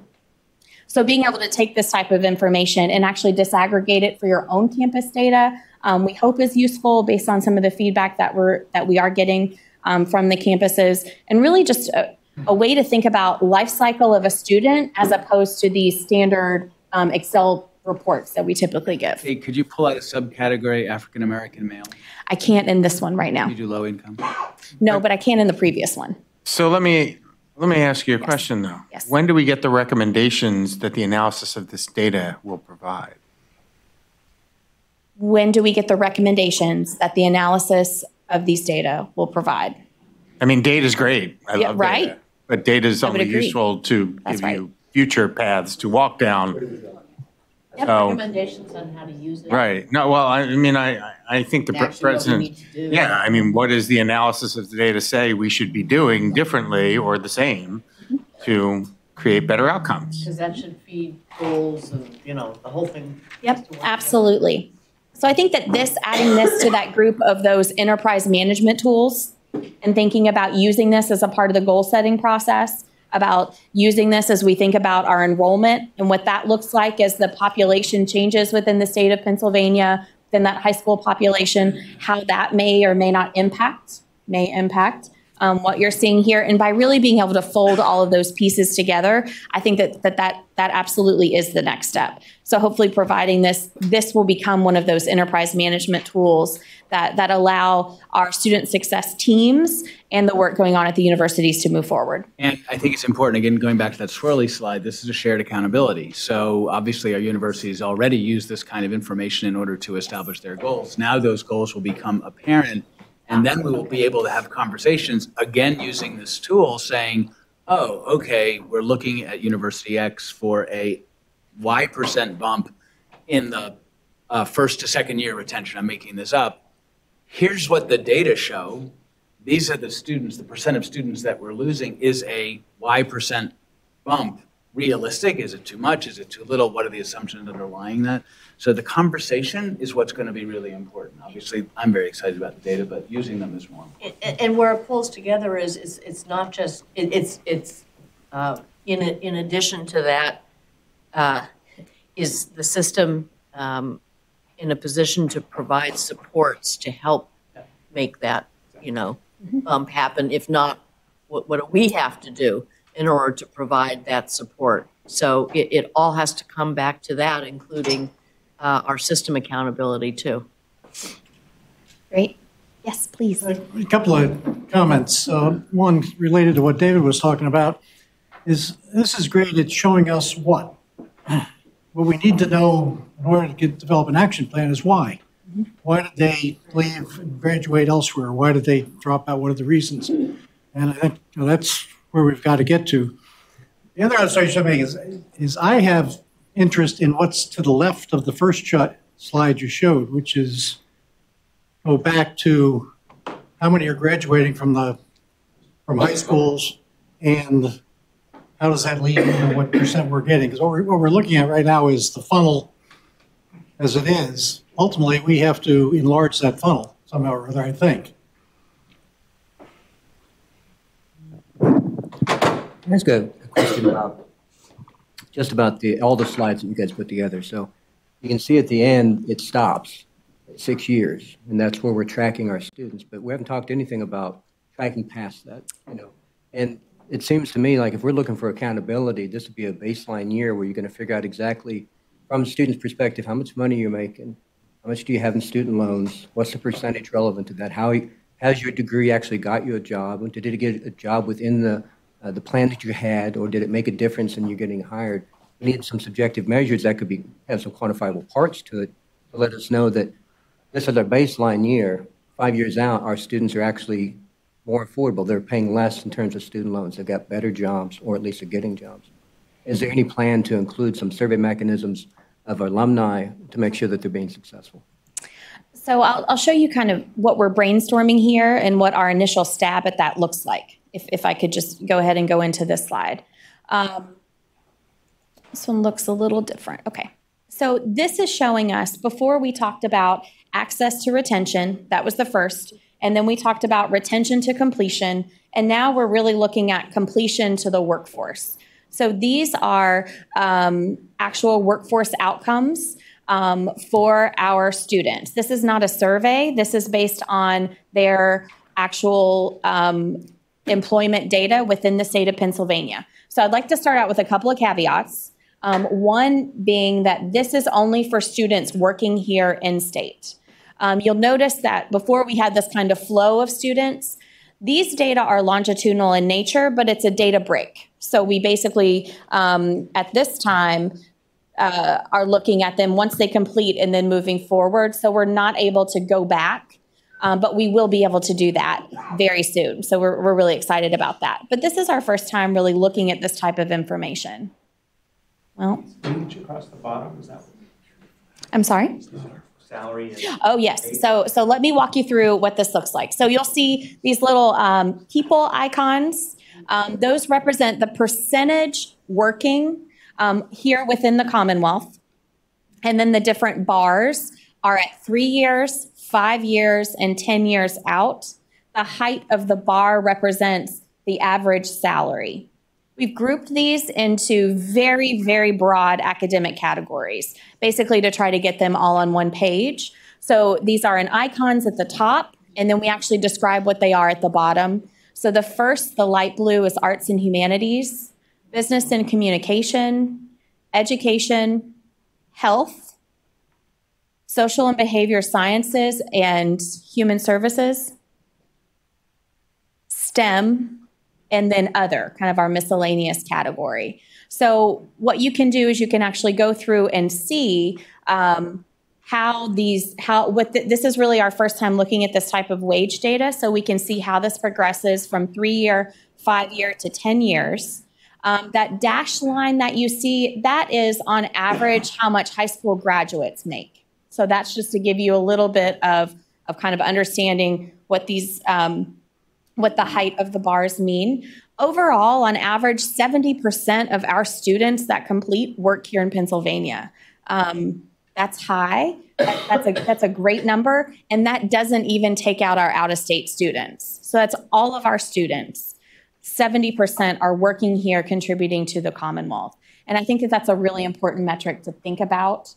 Um, and then you can also see kind of the height of some of these bars and that differential between that first year that they're out and the 10th year. So what we did to kind of consolidate this data, this is a lot of cohorts of data, as many as we could really grab um, for each of these groups. So it's not just one cohort, one year of information. Um, you know, and thinking about three years out, I think there are 10 different years um, of graduates grouped into that, just to give you a little bit of perspective. This is also available by university and it's available by degree level. So what you're looking at right now are all of our degrees. We could then just show that for bachelor degree. And then we could also show it for our certificates that we are currently able to capture, our associate degrees and graduate degrees as well. So hopefully this addresses at least a part of your question and thinking about um, what what's past that, what's past that six-year graduation, um, and then where that goes. Thank you. Thank you. Okay, um, the, I assume by average you're using a mean here. You could also do median and We- distribution statistics. on That is right. So in our first, the way the way this data came back in aggregate form, we're working on a, an agreement so we can actually provide medians and then really that kind of um, level of comfort, basically, that we have with those numbers. Thanks. I, I, I would find it useful personally if we also had a measure, not just of high school grads, of what the typical um, college salary is in that area, because, you know, we, I'll use social work as an example. We all know that social workers in general don't make as much as other professions, but I'd be curious to know if Slippery Rock social workers were at least making what a typical social worker makes. I, I I actually think that a great place for that would be so this is dynamic. So as you hover over, to me, it seems like you could put in the context around that particular bar within that hover over. So you could really, so you could really get that grasp because I, I would assume that that would also vary by region. Yeah, yeah, I, something like this, somewhere where we can get that kind of indicator. You could also do, do it by, uh, by, by sort of a gradient of color within the bar. You know, a- mm-hmm. a slightly Oh, darker blue gets you to the average and, and then, then yours continues. I mean, something like that where we can, we can see that. Thank you. Other, other thoughts as we wrap up the, the longitudinal data portion of the afternoon? I actually have one more thought about the, the, the previous slide. You don't need to go back for it, but as you're looking at th- those tr- trend data, one thing that would be really useful for us is to really understand, and, and I know this has to be done at the local level, um, but understand the reasons for stopping out and, and dropping out, because that actually is what implies the interventions.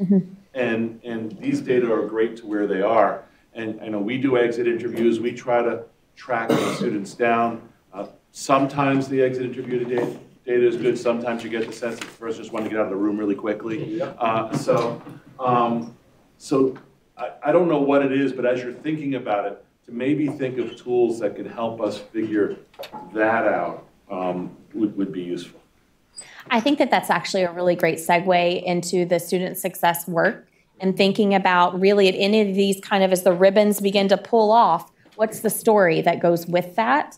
I think that that's such a critical piece. So before I turn it over to Sarah, any other thoughts? Can I just make one summary observation? Um, I do want to just underscore that why these data are important. Um, so when we were preparing this presentation, it was important for me to have the first ever Sankey presentation to the board, but Sarah and Kate prevailed and um, had other reasons. And so the first thing is they obviously support the analyses that we all do. And I, I don't want to mislead anyone.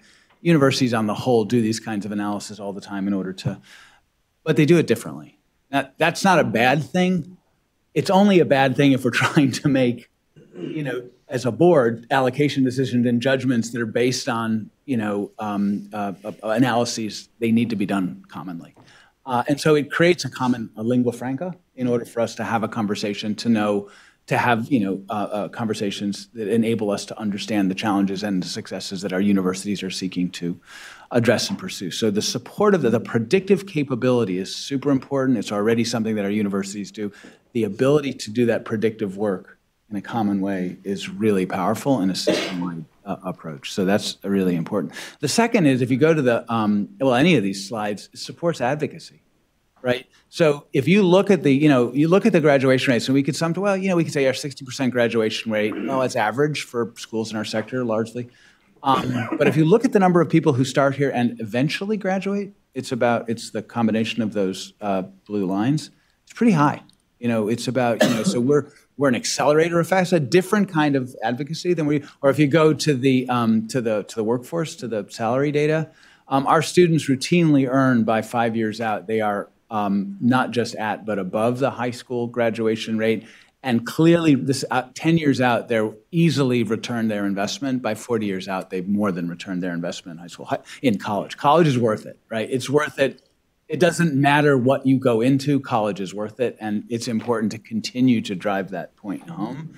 Um, the staying power of our students in the state of Pennsylvania. So advocacy is, is really important. And then to the conversation, uh, the, the point I made earlier, um, the point of doing this is to support the conversation that we're going to have to make, which are really ultimately about trade-off decisions. You know, trade-off and um, uh, trade-off decisions, and also trying to you know get the support that we need in order to drive to good out, uh, outcomes. So those three reasons, you know, we it's it's it's great to talk about student success as an op, as as an outcome. Um, and it would be really cool to race into lots of really interesting financial aid and affordability or workforce, right? But the real question isn't what should we do? The question is where's the bang for the buck? Where's the priority, mm-hmm. right? And you know, so it seems slow and plodding, doing things like financially stabilizing ourselves and building data tools and accountability framework, but how else do you know where to target your your efforts, right? And so getting to that conversation is required really putting in place some basic infrastructure and then learning how to use that infrastructure in a, in a common way. So anyway, just want to make those points. Well, which brings us all back to the accountability and governance uh, outcome, that we're making data-driven decisions. We're applying, resources are always going to be scarce, I don't care how much we have, but we're applying them to priority areas. we're setting outcomes for the application of those dollars, and we're seeing it or we aren't, and we're tweaking. So, it, again, you know, it all works together. I do have a request, and I, and I think this could be helpful. There's a lag between, I mean, you, you guys are making tremendous progress in developing these tools and dashboards. There's a lag between board meetings. It doesn't allow for us to really dig deep and think about what does this mean for things that we put out in terms of recommendations. I know the presidents think about this all the time with their IR folks. I think it would be helpful if there was some scaffolding done, even within the various committees that we had, that teach us how to translate these into initiatives at the system level. So for example, if there are things being done with regards to survey instruments at the IR level at institutions that are beyond their capacity as we think about tracking students beyond graduation, maybe that's a role that we set for the system in an initiative. We can assist with the tracking, like we invest uh, resources in that way. That way, we're, we're enhancing or offsetting what can't be done at the institution level in the aggregate. Because I think we all know that everyone's positioned differently in terms of resources. This way, our initiatives within the portfolios direct relate, are relate directly to these. We really don't have a whole lot of time as Board of Governors to think about that translation. So the most, the more that you can help us make that translation, it might expedite some of these uh, uh, areas in the portfolio that didn't have initiatives yet, like student success. Right. That's great, that's really helpful.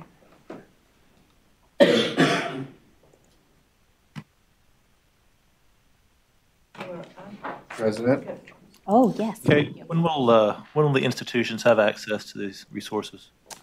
We um, just, um, we, we are in the process of implementing a data visualization platform system-wide, which is what these are built in. So as that goes out, so your IR person already ha- actually already has the software to do it. So we need to send those out. We can do that, I think, as early as next week, just, you know, for use kind of in their draft form until we, um, you know, until we kind of collect some of this feedback and make some adjustments. So as early as next week.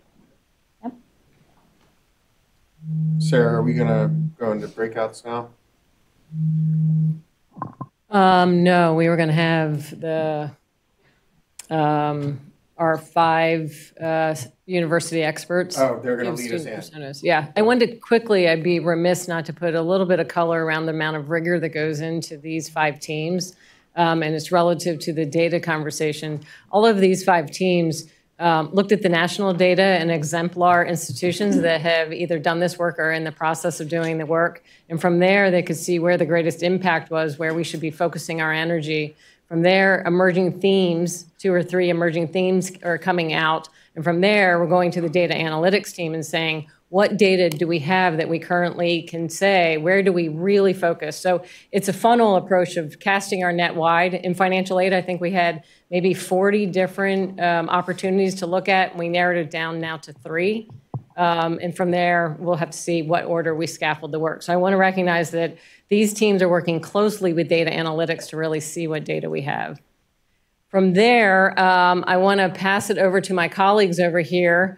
Um, and I thought maybe we could go in order. They're going to just give um, two-minute um, student personas that is going to really make the, the data pop. And so, John, if we want to start with. And just from a scheduling perspective, after they're done with their two-minute introductions, we're going to take a 10-minute break, and then we're all going to head into our breakout. Breakouts. So Excellent. that's, just bear with us for another few minutes, and then we'll get you to a break. Thank you. Hello, everyone. I'm John Ulrich. Yes. Is your mic on? I, I may be insufficient. Maybe too tall for that old one. Maybe get a chair. There we go. On top. Does that work? All right. Microphone management was not in the curriculum. Good afternoon. My name is John Ulrich. I'm the Provost and VP for Academic Affairs at Mansfield University. I am the lead on the university side for the development education team. Developmental learning support for mathematics can take many forms. Specific developmental level courses designed to address foundational concepts and skills that the students need to progress to the next level. Co-requisite courses, workshops, or labs that are required alongside a college level math course tutoring support and supplemental instruction embedded right into the math course. adaptive learning platforms that assess each student's individual needs and create personalized learning modules to address those needs, or any combination of these and many other instructional strategies. When we think of students who need these resources, we often think of recent high school graduates who struggled in mathematics and therefore need additional learning support to meet their educational goals at the university level. However, today I'd like to call your attention to another category of students often in need of developmental learning support, particularly in mathematics, the adult learner who is going back to school, so to speak, and who has not had instruction in mathematics for 10, 15, or even 20 years or more. The story of one such student I'd like to share with you today. This individual from a low-income family struggled in high school and dropped out prior to completion. Over the next 15 years, he continued to struggle to find his path in life, spending some of that time in prison. Eventually, he began turning his life around, earned his GED, and was admitted to one of our state system universities with an interest in STEM. The placement process at that institution indicated that this student needed developmental learning support in mathematics, especially so given his interest in pursuing a STEM degree. At this particular university, the developmental mathematics course featured a self-paced format utilizing an adaptive learning platform that tailored the instruction to his specific needs. The course was delivered in a special lab setting that included embedded tutoring support. The self-paced format of the course suited the student's background and allowed him to get caught up after many years out of formal education. He performed well in the developmental course, and the effectiveness of learning support he received was evident in his success in his subsequent mathematics courses, including calculus. As he progressed through the mathematics sequence, this student continued to take advantage of the tutoring support provided by the university. His confidence and interest in mathematics continued to grow, so much so that he was soon double majoring in a science field and mathematics. He is now an honors student, a winner of multiple merit scholarships, and on track to complete his educational goals. Without that intervention at the developmental level, it is quite possible that this student and others like him would not have received the learning support necessary to realize their educational and career objectives. Thank you. Good afternoon. I'm Brian Hazlett. I'm the Vice President for Student Affairs and Enrollment Management at Millersville University. Across our system, we are experiencing a significant increase of students identifying as first generation. Uh, in fact, the research shows that over 22% of students entering college now across our country are first generation. Unfortunately, only 24% of those students complete their degrees. A significant portion of first generation students are also low socioeconomic status backgrounds. For those students, the college process is complicated and family support is often limited due to their own newness with the process of navigating the major levels of, of a college process that they have to go through. First generation students must balance not only the academic demands of degree completion, but also addressing the financial demands related to affordability and success. In today's economy, higher education is no longer a luxury for the privileged few but a necessity for individual economic opportunity in our global society. It's, in fact, it's the greatest pathway to social mobility. Further, a college education remains the best investment a college stu a student can take, and the cost can also be prohibitive. Many students, even when correctly budgeting, find themselves struggling with trying to afford college. Such was the case with Mary. Mary is a traditional age student from a single parent household she is the oldest of five children, the first to go to college, and is majoring in education with the goal of becoming a teacher. When Mary was a freshman, she didn't show up for class around the midpoint of the semester, which was very unusual for Mary since she was an excellent student. The faculty member was aware of Mary's background and made it a point to talk with her. She learned that Mary was struggling with paying for college, but also was struggling with some food insecurities, and that she had taken a part time job to try to fill the gap. Both the food shortages and the job had conflicted with her class schedules. The professor immediately put her in touch with the campus food pantry, which supports students who do not have enough to eat. She also contacted the financial aid office, who found her additional funds and a job on campus to pay uh, a federal work study position.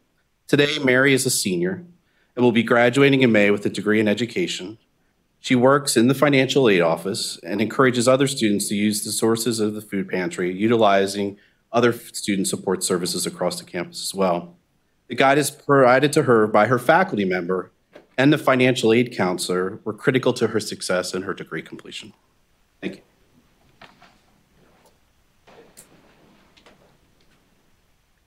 Hello, I'm Margaret Ball. I'm chair of the theater department at East Stroudsburg University, and I have led the first year experience committee for the last four years. Holistic advising intentionally coordinates the different support systems crucial to student success. The story I'm going to tell you illustrates how wide a range of departments and services come into play in an actual case. This is Grace's story. I met Grace when she first arrived at university. She struck me as confident, energetic, and a determined student. I vividly remember her coming up to me at the accepted students open house. She told me she was a science major and she'd been encouraged to take science because it would get her a job. But she confessed what she was really interested in was performing. I suggested to her that she sign up for an acting class. So I ended up having Grace in my first year experience class, where I learned she was a first generation student who had lived for several years in foster care and had endured unspeakable abuse. She was an excellent student, always on time with her homework. At the end of the semester, she asked to speak to me. She had done very poorly for Grace in her science classes. Her heart just wasn't in them. Where her passion lied was with performing. So I suggested courses that would truly strengthen her soft skills and that would prepare her for the field of the arts, whether it be administration or performance. She took my advice, but also stayed registered for a biology course, just in case she changed her mind. A few weeks later, I heard from her again. She was having financial issues and did not know how to succeed or proceed. I called one of our financial aid officers, and she was most happy to assist Grace and helped her with finding additional aid. Then later, in the third week of classes, and this is the second semester, Grace was back in my office. Quote, I am going to drop my biology class. I am just not interested. I've tried the tutor, and it just isn't where I want to be. So by this point, she had already auditioned and been cast in the musical and as the lead in the main stage play. So I said, okay, drop it, and we can talk again at the end of the semester. Since that time, Grace has had several leading roles, and she is also one of our top academic students. But during the last production, her birth mother and a foster mother turned up in her life again. This really triggered Grace. She missed classes, and eventually she called me wanting to meet. I asked her what was wrong, and she said, I just don't think I can go on. I can't deal with this. I asked if she had a counselor, and she said, No. I said, Would you like to see our counselors? And she said, I don't think they can get me in. It's too late in the semester. So I called the counseling services, and they said, Yes, that day they had a drop in session, and if she came down early, they would get her in. She went. The next day, I saw her, and she was 100% better. She'd done the performance, she'd seen her birth mother, and she was coping. I have no doubt that Grace is on the road to success.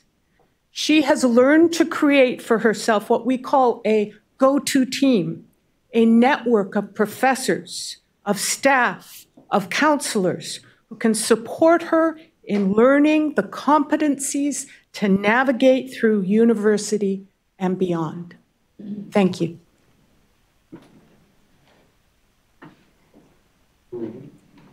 I'm David Wilmore. I'm the Chief Student Affairs Officer at Slippery Rock University. I got I pulled the card of going after the theater professor.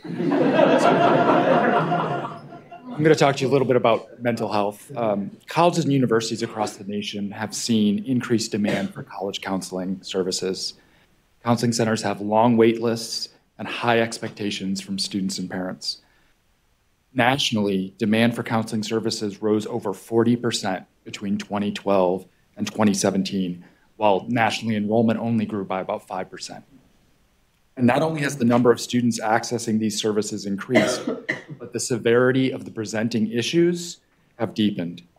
Nearly one third of college students report that they have been diagnosed by a professional with one or more mental health issues in the last year. The top issues faced by students include anxiety, depression, and difficulty sleeping. These mental health challenges directly impact students' ability to be successful academically. If a student is facing depression so severe that they can't get out of bed, how are they going to go to class, study, and learn? And Pennsylvania is not immune to these trends. Our students are coming to us with greater needs, which push us to explore how we can best support them and help them attain a college degree. The good news is we can help these students if we can identify them early and get them connected to the appropriate services. One illustrative example comes from a student I'll call Candace. Candace is an African American female from the Pittsburgh area who was raised in a low income single parent home. As a first year student living on campus, Candace came to the attention of her resident assistant during the first week of school. Her roommate reported that Candace was cutting herself which some individuals do in order to cope with emotional pain. After some conversations with Candace, we learned that she'd recently completed an inpatient hospitalization for depression and suicidality three weeks before the start of the semester. We quickly connected Candace to our counseling center, who did a preliminary assessment. Based on her history and diagnosis, diagnoses, the counseling center faculty concluded that Candace was out of their scope she would need intensive, regular outpatient therapy in order to address her mental health issues. Our case manager worked with Candace to connect her to an outside provider who bills on a sliding scale and to help arrange for regular transportation to these appointments as she didn't have a car. This connection to local off campus services, coupled with regular check ins from our case manager, allowed Candace to be able to stay on top of her mental health while pursuing academics and trans- transitioning to college. Today, Candace is a junior. She still struggles with her mental health and receives off campus therapy regularly. But she's also a solid student, has a strong and supportive peer group on campus, and serves as a peer mentor. I know for certain that our early identification of this student and connecting her to the proper resources have helped her help us retain her to the university. Thanks. Good afternoon. Uh, my name is Zeb Davenport, and I'm the Vice President for Student Affairs at West Chester University. And uh, I'm glad I'm following Dave and Margaret. Brian and I were over there talking, and we said, God, I'm glad I don't have to follow her. no, you're not chopped. and I know I stand between you and the snacks. I already checked them out. There's cookies and chips and soda, so let me jump right into it. I'm going to talk a little bit about workforce readiness. According to ch- career change statistics, the average person will change careers five to seven times during a working life. Some research also suggests that employees change jobs every four to five years. And we've all witnessed the impact that technology and the automation of jobs have had on the current workforce. Uh, so to remain viable, many of our many employees are looking to be reskilled, upskilled with competencies that are transferable across any industry. Our current students are learning skills and competencies both in and out of the classroom that can be generalized across many careers. Institutions, through their academic and co-curricular programming, continuing education departments, and career centers are helping students and others navigate career uncertainty and job transitions. Enter John. This is on behalf of you. Enter John. John is a non traditional student and veteran who experienced firsthand the need to reinvent himself through upskilling his expertise while building on his current competencies. Initially hoping to serve in the military his entire career, John would tell you that life didn't turn out the way he had planned. After spending 11 years in the Air Force, through three deployments, John decided that he needed to upskill his talents by going back to college. After consulting with the Career Center to learn about skill development and job opportunities that aligned with his interests, he now has a better understanding of what is needed to enter the workforce. John is attending courses and participating in programs that will prepare him for a career in the highly needed cybersecurity field. He recently completed an internship in information technology to accelerate his hands on experience, and he plans to deepen that experience through the cybersecurity internship that he found in the, through, through working with the folks in the Career Center this summer. The Career Development Center also supported him with rewriting his resume in a way that highlights the newly acquired skill set that employers are seeking in the current job market. John now regularly refers other veterans to the Career Center for guidance. Many of them would not have reached out for advice to the Career Center had it not been for John. So not only is he benefiting from the services, but he's also now a conduit to bring his peers into that space that sometimes might feel a little intimidating. Although nervous about leaving the military after 11 years, John is on a path to a career that meets the workforce demands through the support services and success initiatives offered on campus. John will graduate in 2021. Thank you. Thank you. Sarah, you good? Yeah, we're good. Do Thank wanna- you. how- That was. How um, how are we going to done. assign breakout rooms? Oh, Randy, you do the breakout. Go to the next slide. Go to the next slide. There you go. There you Um, go. We're going to ask you to self-select. You heard the presentations. Hopefully, one of those stories connected with you on one of these topics. And so you decide which one you want to go to. Board members, presidents, members of the audience. These are open sessions, so you're, you're welcome to go to any one. The idea of this is you'll come out of this more informed and probably an advocate for that issue you here on the board or within the cadre of presidents. And then so you'll be able to stay engaged in that issue going forward. Um, again, the room, the, the, the issue or the uh, topic that'll be here is um, workforce readiness. So if you choose to stay here, just know that we'll be in this room. Otherwise, Are we coming D back E here? Is that small room there? A, B, and C are right where we had lunch, and the rooms are marked. And then it's five after three, so everyone should try and head to their rooms around 3:15, and we will start promptly at 3:20. Thank you. PCN offers Pennsylvania organizations, business, and associations the opportunity to have their message telecast statewide. Fusion on PCN is a platform for you to reach out to all of Pennsylvania using our statewide cable network and online streaming. You produce the content with your message, and PCN delivers it statewide. Fusion is a partnership that helps expand your reach and meet objectives through an alliance with PCN. Go to pcntv.com/fusion for more information. Thank you all for doing the breakouts. Uh, I wandered through, Sarah, welcome back. Um, I wandered through all of them, and uh, there were some interesting discussions, uh, some interesting uh, things were going on. So now we're going to have um, everyone report back, and uh, I think we might as well just start in the same order that we did with the introductions. So with that as preview, we Thank you. I'm reporting back from the developmental education breakout session, which focused on uh, developmental mathematics. As far as strengths, um, certainly I think the, the dedication and commitment with which our faculty deliver instruction and learning support for developmental math is, is evident. Um, developmental math course completion rates in the system compare very favorably to the national average.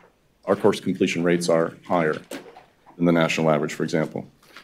Um, where there are opportunities, I think, and, and I think our breakout session um, brought this to the fore, certainly there are opportu- opportunities for coordination of effort, for sharing of information, um, for uh, making sure best practices around um, developmental mathematics are implemented um, across the system. So there's an opportunity for scaling uh, best practices related to placement, for example, multiple measures, placement processes, um, for providing co-requisite learning supports embedded within or alongside um, college-level math courses, um, curricular design that, that offers math pathways that are consistent with the student's educational and career goals, um, and uh, courseware like adaptive learning platforms that actually can assess where the student is individually, what the student's individual needs are,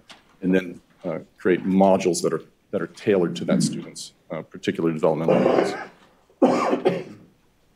I don't know if I have anything surprising. I, I can tell you what's unsurprising is that um, in a system that hasn't uh, really talked much across 14 institutions about developmental math education, it's not so surprising that each university has developed its own particular set of policies and procedures that govern how students are placed in developmental mathematics.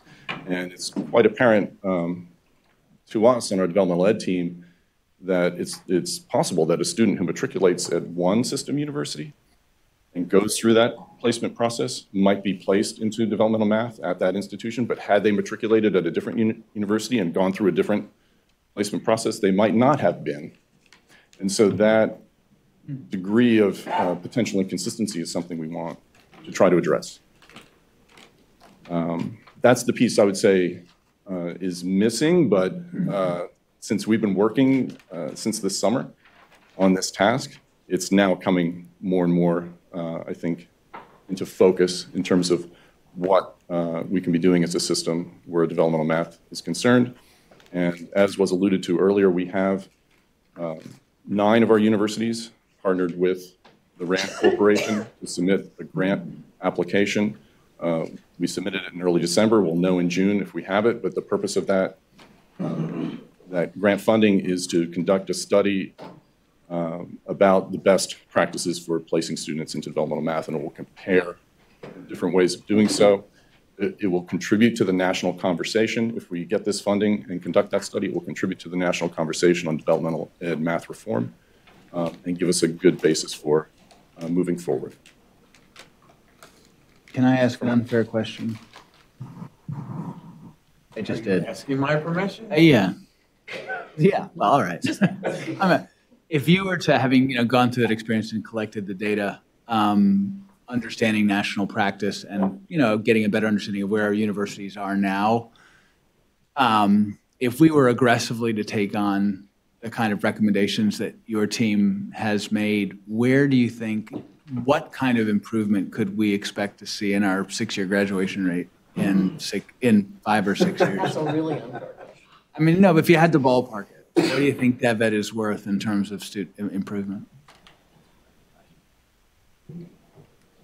Well, we're seeing, we're seeing on average, uh, course completion rates around 80%. Yeah. In developmental math, which, it- uh, as I said, compare, compares favorably to the national data. So I would first think about that 20% that aren't completing Yeah. developmental math and therefore are not attaining a credential. And then what's the relationship between that 20% and the Because six-year what, and, and John showed a fifteen percent-ish gap on average between people who start in Dev Math and, and, and uh, the graduation rates of people who start in Dev Math. Yeah, we, we, in our team, we called it credential completion gap. So we looked at the um, 2013 cohort. Yeah. Followed them for as many years as we could, five and a half years. Yeah. Looked at those who were required to take developmental math versus those who were not. Yeah. And we found that um, for those who were required to take developmental math, 15, about 15% fewer attained a credential within that time frame. And the reason I'm asking. That's the cause. Yeah. But it's an association. Yeah.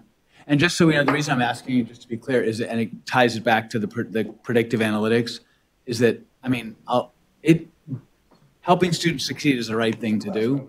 It also helps us address really serious financial challenges. And so we should be throwing ourselves into the areas where we can see the biggest bump, you know, and then in terms of priority, this is now a personal view, not a mandate from a chancellor. In terms of prioritizing, it, for me, it makes sense to prioritize things which achieve the biggest bump sooner rather than later. And that's, I, I just think it's something we should all, one of the things I'm experiencing through system redesign is that we are super stretched. And so really focusing down on the things that are going to move the needle, to me, I think is, is going to be important for us. And Dev math, obviously, they're all, all the areas we're going to talk about, but um, are, are important that way. I would just urge us to think in those terms if we can. And then also to think really hard about goals, because it is not worth doing stuff to get a half percent or a 1% improvement overall. I mean, we want to throw ourselves at things that do three, five, seven, and 8%. I mean, just a thought. Here, there, anyway. Um, I guess my only, there's so much here, but what's the, what's the most immediate benefit to the investment? Most immediate investment is more students progressing toward a credential on time. And Eliminating a barrier. Right, we're eliminating the barrier, and it doesn't sound like it's that difficult to implement, in theory. Theory. Um, there are, there are, you know, She likes a brother. Punt that to the Right. president. there, are- for example, there are curricular implications, right, for the des- design of develop- developmental land. So if we're talking, we have to be clear about if we're talking about simple standardization of approach, we're talking about um, a set of approaches, all of which uh, adhere to best practices that have evidence behind them nationally to show that they work. Um, Because if you have a set of such practices, they can be implemented and tailored for the particular circumstances of each university. And which would you recommend? I am getting good questions. There, there has to be a degree of, in my opinion, a, a degree of coherence in our approach to um, developmental mathematics, both at, in terms of placement processes and uh, curricular design. But I'm stopping short of saying that every university has to have the same curriculum, right, for, for its We don't have to have it at every university, we just have to have it available at every university.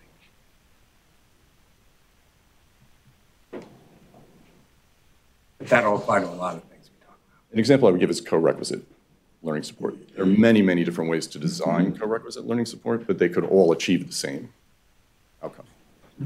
Thank you. Any other questions before we adjourn? I'm going to do what I tell my students not to do, which is to work off my phone from the notes. But as I get older, this gets much more difficult. Lois, thank you for taking notes today. Um, we started off with looking at some national and, and also state level data. Um, from that, we determined at least some gaps that we would like to look into a little bit deeper, which one was how has the demographics across the state population changed in relation to the high school population, but driving a little bit deeper into income range and also looking down at even at the level of the county so that we can get a little bit more specific as to is there regional things that are happening across the state that could uh, dictate the levels of, of leverage that we would need to put in place behind uh, financial aid. When we looked at system strengths, um, the thing that really came out clearly is that over the past several years, there has been a, a big movement towards student centeredness and the fact that we are really focusing on the student, really treating you know every student as an individual, especially with the work that's happening within the financial aid offices, where you know th- there's a misconception that financial aid offices are just putting together packages. What they're not realizing is that they're spending a tremendous amount of time counseling students as well as counseling families to be able to show them the pathway to be able to make a degree um, obtainable. Uh, we also talked a little bit about, uh, as, as the chancellor just mentioned, is there opportunities to, to segment different populations and put resources behind certain populations that would result in the greatest levels of success. Uh, we talked a little bit about how some institutions are targeting financial dollars behind bridge programs because that's something that they know that students that have that, that barrier and how can they break that barrier down. Um, opportunities, we talked a lot about the fact that we need to um, educate and promote the difference between net price and sticker price um, in relation to the fact that a lot of families don't necessarily have a strong understanding between those two, uh, and that we really do kind of have a, an award per se in the form of our state appropriation subsidy. And how can we put a dollar amount behind that so that families understand that if they're from Pennsylvania, they're receiving this subsidy, that they can look at that in their, their total financial aid package. We also talked about one, uh, one big, big lift would be, is there an opportunity to, to put together um, some, some opportunities to look at, should there be a common financial aid model across the state for both publics and privates? Um, that was something that we did talk slightly about.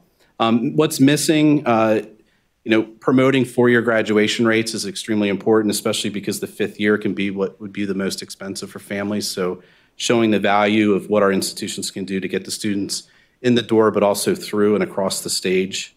Uh, and then finally, um, you know, we, we talked a little bit about, you know, opportunities related to cost, uh, related to textbooks and how can we reduce the cost of textbooks. Basically looking at what are some of the hidden costs that students aren't ready for. So students will look at a piece of paper and say, okay, this is their tuition, this is our room and board, but what are some of the other costs that are out there that we could put in place? So we talked a lot about open resources and how can that be put in place to kind of lower the cost for students overall. That's about a summary of what we discussed. Any questions? Can I ask an unfair question? So if you were to sort of swing, you know, what, what would you encourage us to sort of swing for the fence kind of goal, five years, whether measured in terms of student retention and/or um, cost saves to students, based through our efforts? Obviously, it's hard to predict, you know, available funding from the state. In, in relation specifically to To financial. the, for- to the package of kind of, yeah, the package of kind of work you think we ought to be doing in financial aid. affordability. That's where I think it's, it's extremely important to look at where you, where you as an institution sit within the state. Yeah. Because that's going to look different based on where, where you're housed within the state. Meaning that um, the families from some of our, uh, some of our counties are coming into higher education with a very different financial picture than what a family can be from the suburbs of But if I were to ask you to join me next month and sitting in front of the appropriations, this is a, this is a great idea, Brian. I'm warming to this. Um, and, you know, we were to take a question about, you know, in five years, where do you think you can be with financial aid and affordability work? I, I think that if we can put, start to put together resources to show that the dollars that we are investing in financial aid are resulting Yeah. in higher, higher percentages of students being retained and graduating, Yeah. um, then I think we could move the needle. Um, but I think for us, we're just getting into that business as a system of really looking at applying deeper, deeper uh, financial aid packages, looking at how do you use, you know, revenues from tuition to be able to put back into students' packages to make it more affordable. Um, as an institution, as institutions, I think we're just getting into that business heavily, um, and I think that's something that's going to allow us to have a, a much greater competitive advantage when we're looking at um, attracting students that may look at schools that are much more expensive than us.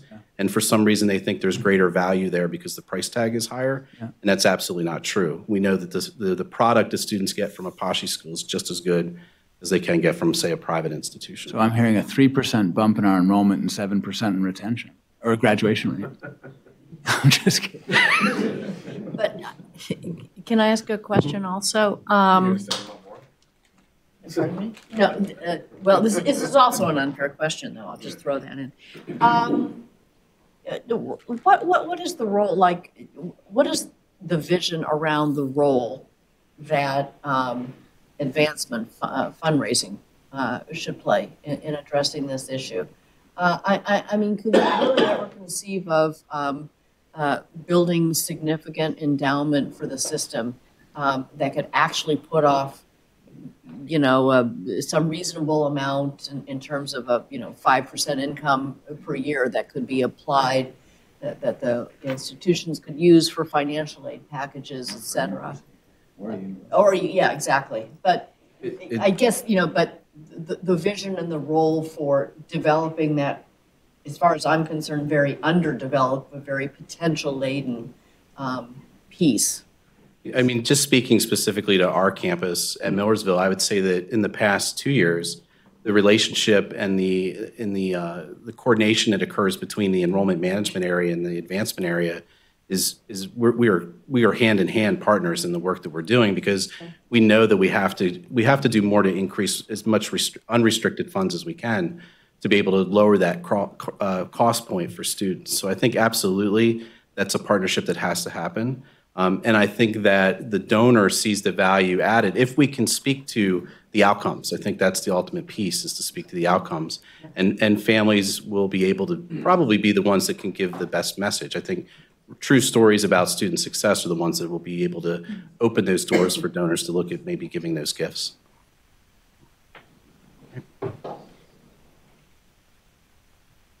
Thank you. Thank you very much. Holistic advising. Holistic advising.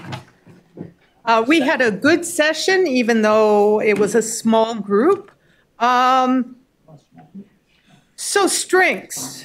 We have a system that is willing to examine and reform advising, and I think that's a great thing. Um, important discussions are happening at all the universities right now um, around advising. And what one thing we all came to agreement on is that advising has to be made more important. It has to be raised, uh, training faculty, training staff, uh, training everybody who has a role in advising to switch the mindset and the outcomes to everybody on campus is going to help these students graduate in four to six years, whether it's a bursar, whether it's a registrar, whether it's a faculty member or a staff member. That is our job. So that mindset, when we interview faculty for a job, do we ask them, how do you advise? That is something that needs to start coming from the top down in order to make this more important. Um, one of the, we looked at two, or I've been referencing two reports uh, that were put out by uh, BCG. One was for NASPA, and they talked about two important drivers to the success of holistic advising. And one of those is the use of action oriented analytic and software tools uh, something like EAB or Starfish that can help with coordinating. Also, simplifying a student's path to a credential. And this is something we all discussed in various ways, whether that is an advising syllabus that some uh, schools here or some universities in the system are starting to use.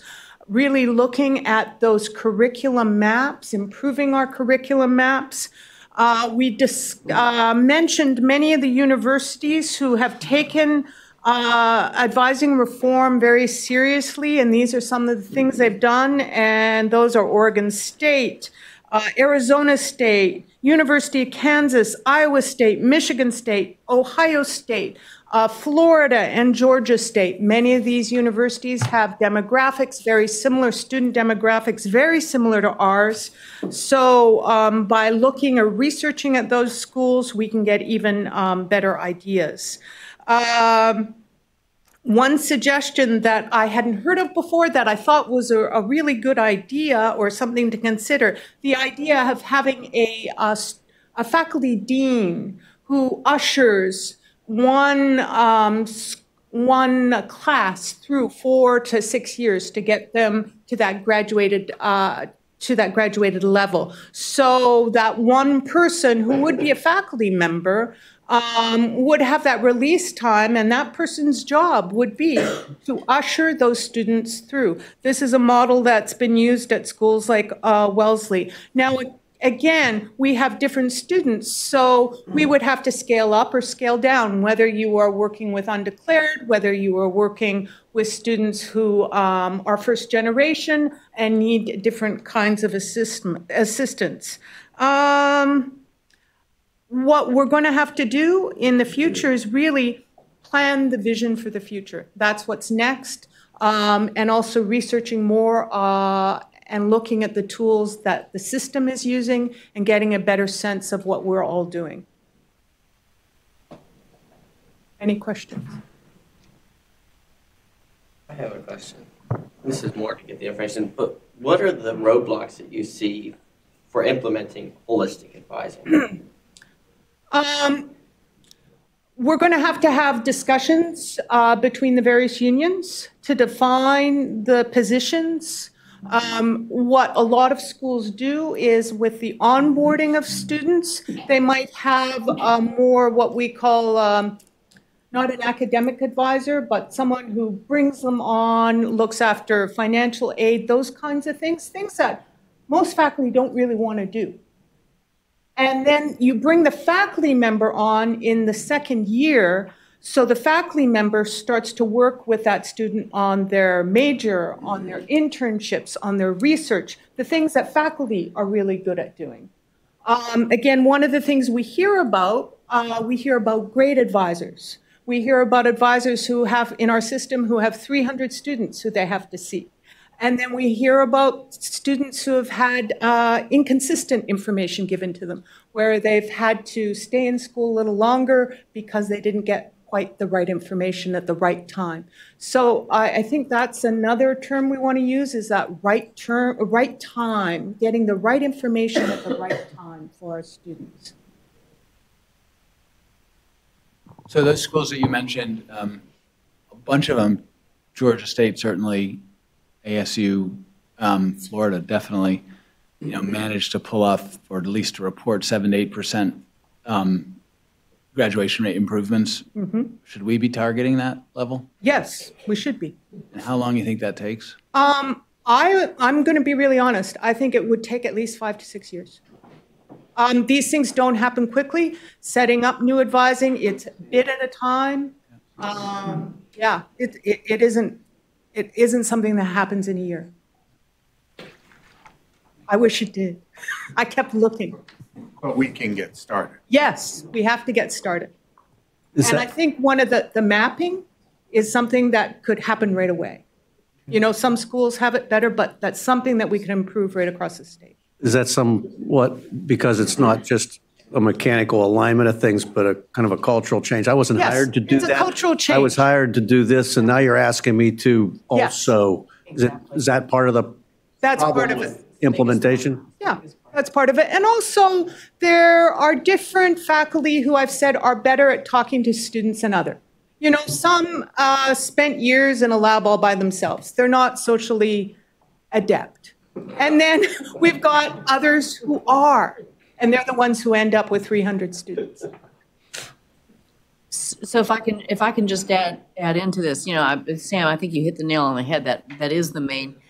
But if you, if, if, um, top leadership declares this to be important and sets the tone from the top, um, and says things like, whoever ends up doing the advising and whether or not we can work that out, you know, with the, with the, with the faculty to professionalize it, or, you know, we continue with the system that we, we have based on the contractual agreement, um, that a few things happen, like the right types of people are uh, assigned to do it in the first place, you know, not people who are more adept at research or Right. something else, but, but actually, you know, you get the right people to do it in the first place. That's the quote, you know, hiring piece. Um, uh, That you, you change the mindset as you were talking about, but you give an actual outcome. Mean, Do, do we have the will to say, performance evaluation is also now going to be looked at in terms of how many in your cohort that you're assigned to advise actually do graduate in four to six years.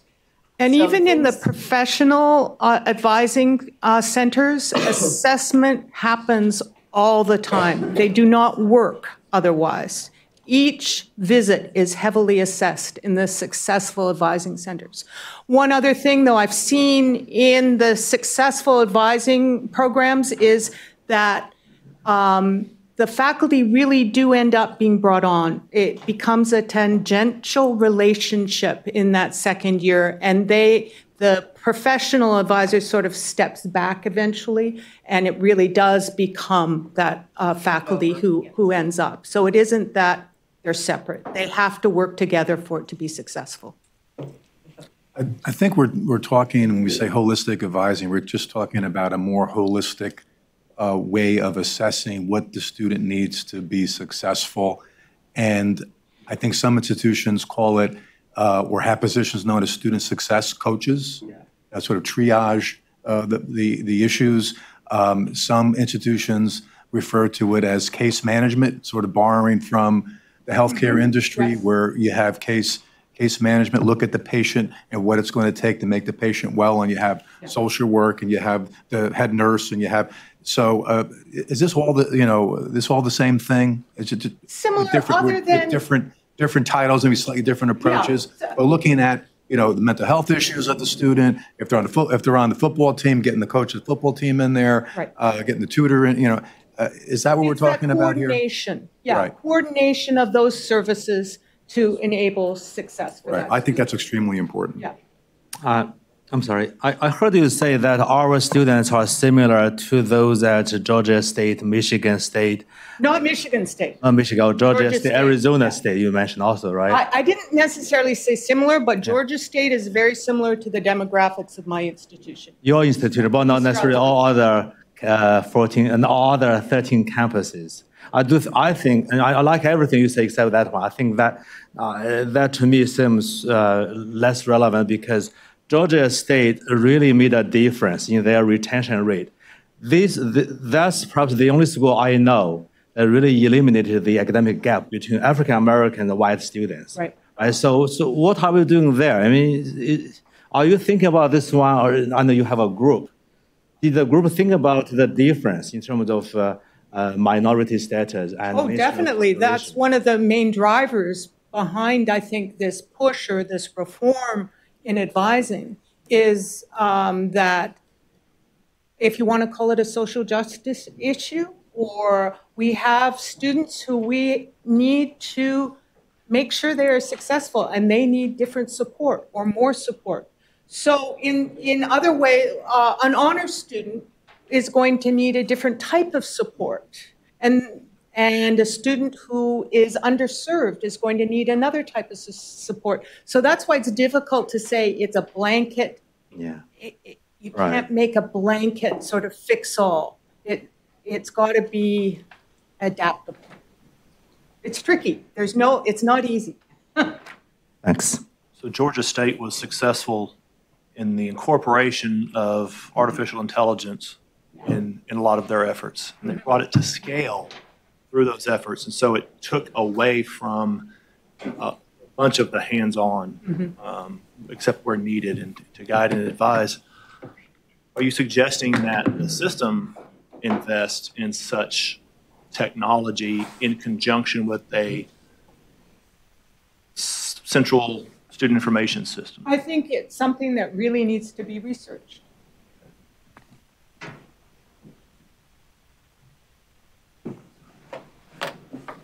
Thank you very much. Okay. Before she sits, before she sits down, I, I do want to say a couple things because I think you can tell Dr. Ball is very passionate about students and she is a tremendous teacher.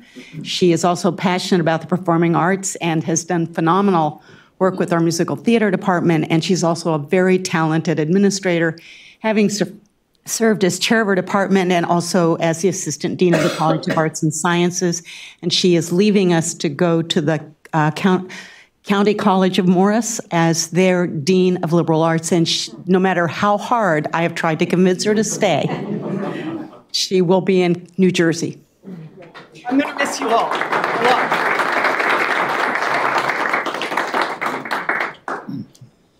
Before I report out on my group, I have to give up a little bit of my time just to point out, since Georgia State came up so much, that it's important to realize that they hired over 30 full-time professionals to raise those numbers.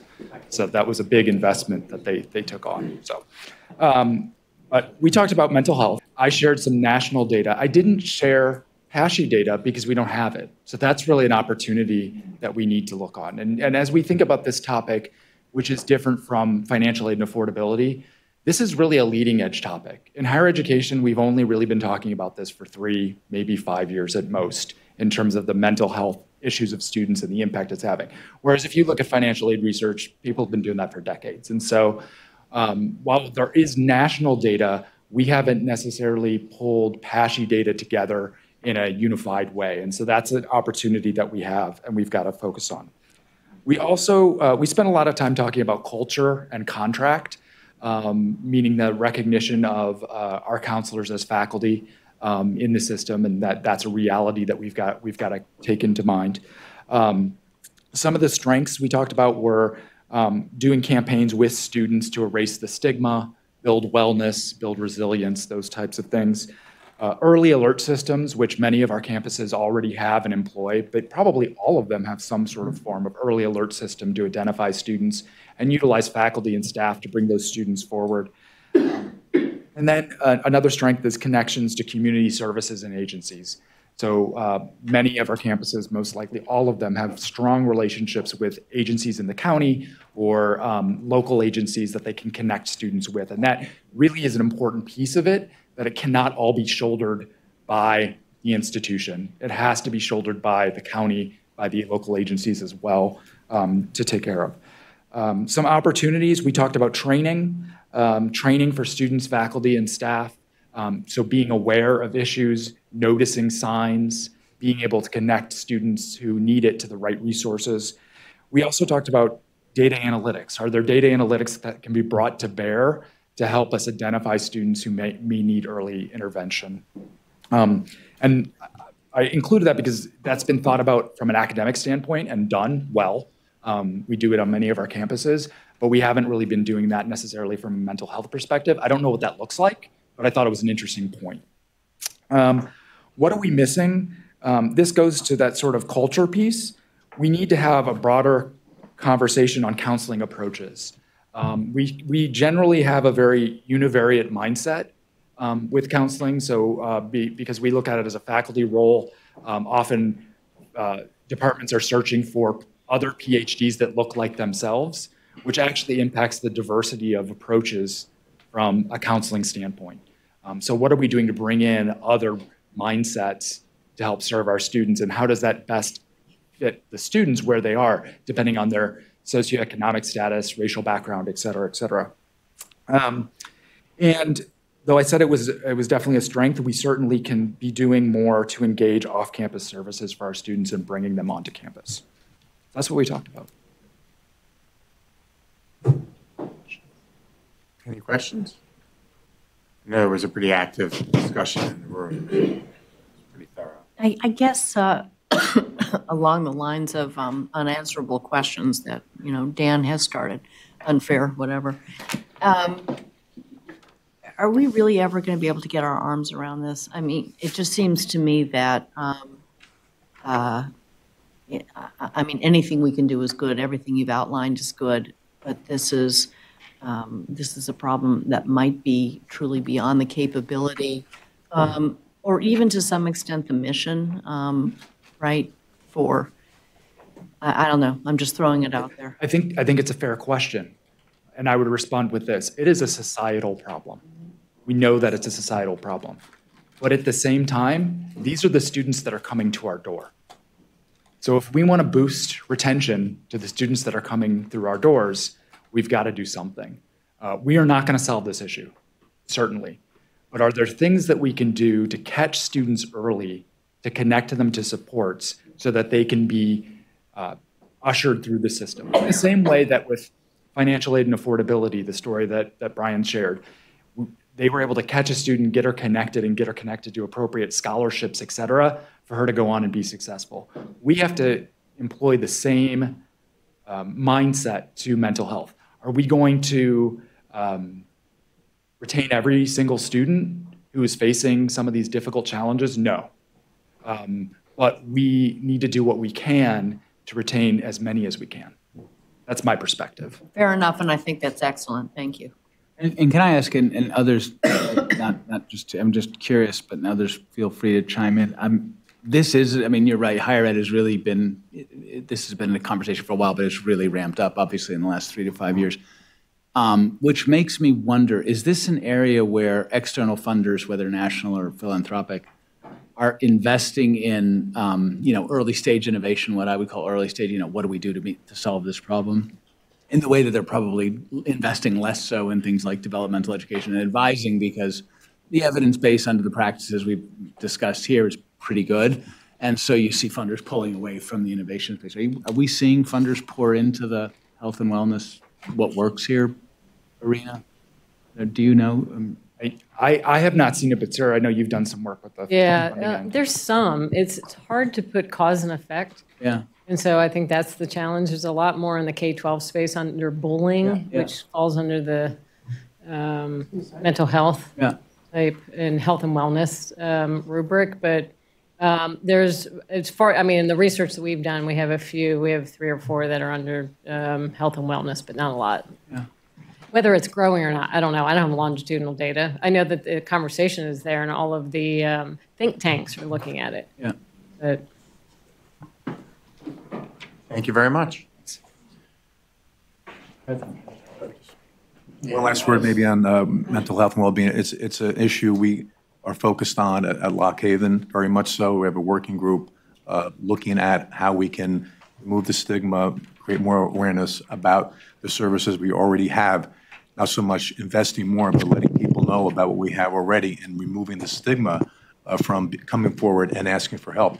In addition to looking at funders, I, I- I think it would be great to look at um, where are the innovations in this area and are they working? For example, some institutions um, do um, uh, mandatory screenings for freshmen, you know, to create some kind of baseline of mental health and well-being for the student. We're actually doing that with athletes and considering doing it on a larger scale, but we don't know if it works. So if there's a way to, to find out what, the- you know, what, and assess what the latest innovations are in this area and their efficacy, I think would be very, very helpful to us. All right, save the best for last. Workforce. No, and I stand between you and that wine. It's really, you stand between our students and their jobs. That's the important thing. We'll stay here all night long then. Ah, wine, schmine. So our conversation. You know, that- um, That's why we're here. That's right. We'll, uh, we talked from a framework of um, three or four tenets. One, meaning we, we kept in mind academic uh, preparedness, degrees, certificates, credential, upskill, reskill, things of that nature. Um, the other component is a diversity lens, looking at um, um, when we look at state data and the students who are completing degrees at higher rates than those who are not. Those students who are Latino and African American aren't attaining degrees at, the same level of uh, white students.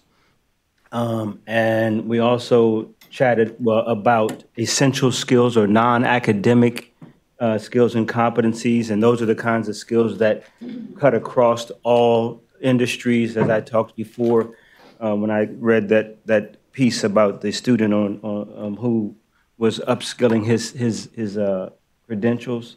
And the other thing that was brought up is the fact that we have to be mindful that in the next five years, 20% of the blue and gray collar workforce will be, those jobs will be gone. Uh, and how do we um, capture that? What do we need to do to make certain that we're preparing students um, um, to, to be able to enter the workforce? And finally, we all have seen statistics about students with advanced degrees have the potential to make up up, up to the amount of a million dollars or more than those who are not um, prepared with advanced degrees. From that, we looked at strengths, and my, my colleagues who were in the room, and we've got I've got a support person over here to kind of not really support, but a, a guiding person in case I make a mistake.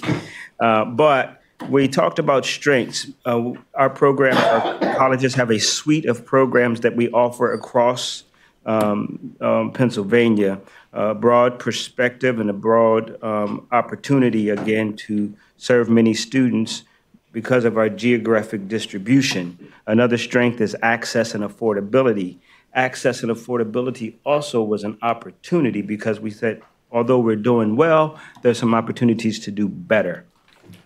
Um, opportunities, again, affordable and access. I think one of the things that we talked about, I, I think is, is really important, and some of you, uh, many of you know about the whole growth mindset versus a fixed mindset. And the conversation really was about how do we teach students to understand that failure is not meaning that all is lost. If you fail, I've often heard the chancellor say, fail, fail fast, but then learn from that. And so how can we help our students learn that a failure does, a mistake does not mean that all is lost. We talked quite a bit about, um, yes, we talked quite a bit about articulation agreements with community colleges. Need I say more? Um, and one, one statistic was that, we're only capturing 10% of the community college students in the state. And while um, there was something else that just recently happened, that doesn't mean that we don't have the opportunity yet still to go after some of those students and really work um, significantly to create articulation agreements across the state so that we can grab our fair share of those students. Uh, and, and being nimble and looking at online programs for undergraduate students. And we do a great deal of programs for graduate students, but are there some opportunities with the online, on, online for undergraduate students? Building better relationships with our local communities, um, stackable degrees and creden- credentialing, and the example that Sarah used about uh, her lifelong learning skill set and getting credit for that. Are we doing that uh, on college campuses, and to what degree, and how effective are we managing that? Um, opportunities. Opportunities. Um, let me see. We have to start looking at the reciprocal relationship that universities have with their local communities. The university is an economic uh, driver for the community, but the community can also be a driver for the university. That it's just not a one-off, but it is it is a, a relationship that we have to take advantage of. And Kate, I'm going to need you on this. one. Oh, The, the problem is my handwriting. I wasn't That's gonna- the I- I wasn't problem. gonna I'll just say that. it. What was your? Oh, that, that our system may not be set up for workforce. Um, so we know that, that, that, you know, we have evidence of, of collecting data and using data around, re- around retention, persistence, and graduation. But we mentioned today some of the metrics that we're just not quite yet capturing. And so is that reflective of the system as a whole not being set up for workforce? And some and some college campuses are doing doing doing a great job with um, being able to uh, bring a student in and provide them with skills uh, to, to allow them to go right into the workforce with associate degrees and credentials, and other institutions aren't. So um, that might be an opportunity to look at how that works across the system. What is surprising is that we don't have the support for workforce readiness from the government. Um, and I think you wrote this one, so my, uh, you, Sharon, you wrote this one, so I'm trying to make sure I deciphered that right. But we don't have the support from a system level. Funding, funding, yes. And then, um, let's see. Oh, yes. Why aren't we setting ourselves up in such a way that as a system, employers are saying, we want PASSHE students because they have this skill set or because we're known for one thing. You know, some industries are coming, but but why isn't it? Why isn't that we have the opportunity? I think um, it's surprising that we're not in a position where employers are saying we want PASSHE students across the board because consistently they possess this skill competency, knowledge base, or what have you. And then what's missing? A lack of integration of industry and university. Um, we had a, we had a we had a really good conversation about being an engaged citizen. Uh, it's one thing to say I'm going to college to get a job. It's another thing to say I'm prepared to talk globally about issues uh, across the board. So how how how are we preparing students um, to be global citizens? And then the system connecting to the industry across across universities, right? All right. That's it. That's it. That's it. So I ju- I'm just, uh, I, I- I'm wondering if um, this might be another place where looking at um, the development function uh, and, uh, and this comes together. So saying to, you know, we have uh, uh, any number of um, And I think actually, Aaron, uh, you're doing this at Cheyney, where you're, looking at uh, corporations who, uh, you know, have an interest that you're cultivating, uh, you know, as donors or corporate sponsors or whatever. Um, At the same time, the financial support is great, also saying, and we would love it if you would make a commitment to offer X number uh, of internships or X number of jobs and come to our campus and recruit, you know, uh, for those jobs so that you're sort of combining workforce development with, um, with, with uh, you know, financial cultivation. um, Right. and, You know, creating a deeper bond and a more sort of reciprocal. They're getting something. And that also, I think, gets to the issue of then companies, they, they, they, they have our students for internships or what have you and start to say, you know what, this is a great product Yeah. that- that you've got. It, it, it gets at, at that issue also, getting, getting that word out, that branding out. I think that's a, that's a real opportunity for funding when you start talking about, you know, many of our colleges, their local companies are saying, we want your students for these reasons. And so then, you know, there's, a- there's some opportunity for them to help us in meaningful ways, yeah. The, la- one other, just go ahead. One other point we talked about, very often we get into this fight um, um, about either it's workforce development, which people sometimes go to the ledge of vocational training, or and or liberal arts education, and just to learn to, to develop habits of mind. Uh, It's both. And we need, as a system, to look at all of our students, whatever level of entry they come in, in preparation, if they come in to complete a two-year degree, or they have a two-year degree and they want to get advanced training in management, they need to have the education to be able to have global conversations and advance in industry.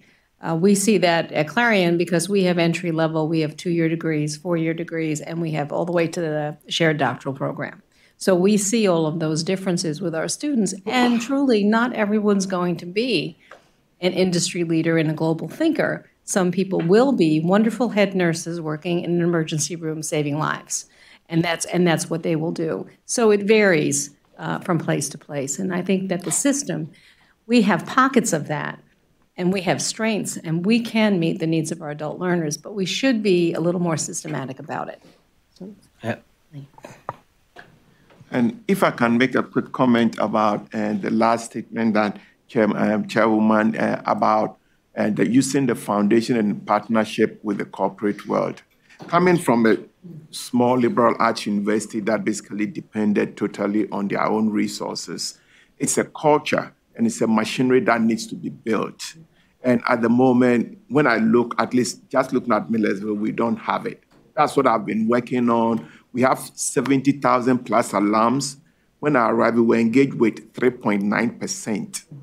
We've been able to take it up to 2%. But if you think about that, um, as if you look at the future, one of the biggest advantages we have as a system and as, as our schools is to start thinking like a quasi public instead of just being a public institution.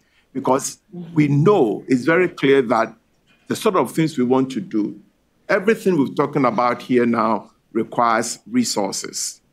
And so we have to start thinking in a more entrepreneurial way, as our chancellor has been saying, that we can't expect to get all our resources from one source. And what you said to me is like music, that we have to start thinking that way, and the president's behaving that way. Question. Um, Randy sends us articles from time to time that people in my world wouldn't normally read, so we get a little bit of information and makes us dangerous. Um, On the workforce development, and I view that as being kind of reactive to what the future workforce demands are. It, it seems to me that, that, that there's at least a perception, I'll put it, I have a perception, that, that one of the barriers is our uh, inability to adjust programming, you know, the, the actual, you know, uh, curriculum uh, quickly. Like that we're a little too deliberative and maybe overly overanalyze what we're going to change to, to offer what that future workforce demand might be. Is that, is that a factor? Is that something that we should, you know, try to address? Is there a return on that investment of speeding up our ability to respond? It's actually something I think the community colleges Do you very know, well. occasionally eat our lunch over as, you know, in a comparative sense, because it seems like they can turn on a dime to react to a, That's right. a workforce demand. We had a great conversation about being nimble. offer an example that we talked about um, that um, relates to your observation. So um, providing credit for life experience, right? There's, there are local processes to analyze life experience and award equivalent credit. Um, Those are very local, meaning down to the department level decisions, you know? Um, It took us a year to approve uh, life experience credit for police academy training uh, in order to help to incent uh, our associate degree in criminal justice. Um, That's too long, you know, so that's an example of we're not nimble enough, you know, so we need to figure out ways to create more nimbleness and, and to be able to make decisions like that quicker while respecting, you know, local faculty prerogative and so forth. But it can't take a year to do that. We need to be able to respond quicker than that. Thank you very much. Thank you all for your engagement. Uh, This was a lot of information, and we really appreciate everyone putting in the time to do this. Um, extensive dialogue, and I think we'll have a lot more back to you. Sarah, thank you to your new team. Um, This is a great project. Um, Thank you all for allowing me the opportunity of taking up all of our time today with my committee meeting. And I finished right on time. Um, I do have a uh, note, which is everyone is invited to the, um, what is called the McCormick House. My house. Some of you may know that as the Chancellor's residence, um, but I believe it is not the current Chancellor's residence. So we call it the McCormick House, uh, for cocktails and, uh, light hors d'oeuvres provided by someone. Um, so, on that, Madam Chair, may I get a motion to adjourn? So moved, and just a reminder that we reconvene, just a reminder that we reconvene at 9 AM tomorrow morning. Thank you also, I want to thank you all for the work too, and I, I, I I hope this input now gets moved forward and, you know, we get these recommendations on all this stuff. We go. Okay, meeting adjourned for now.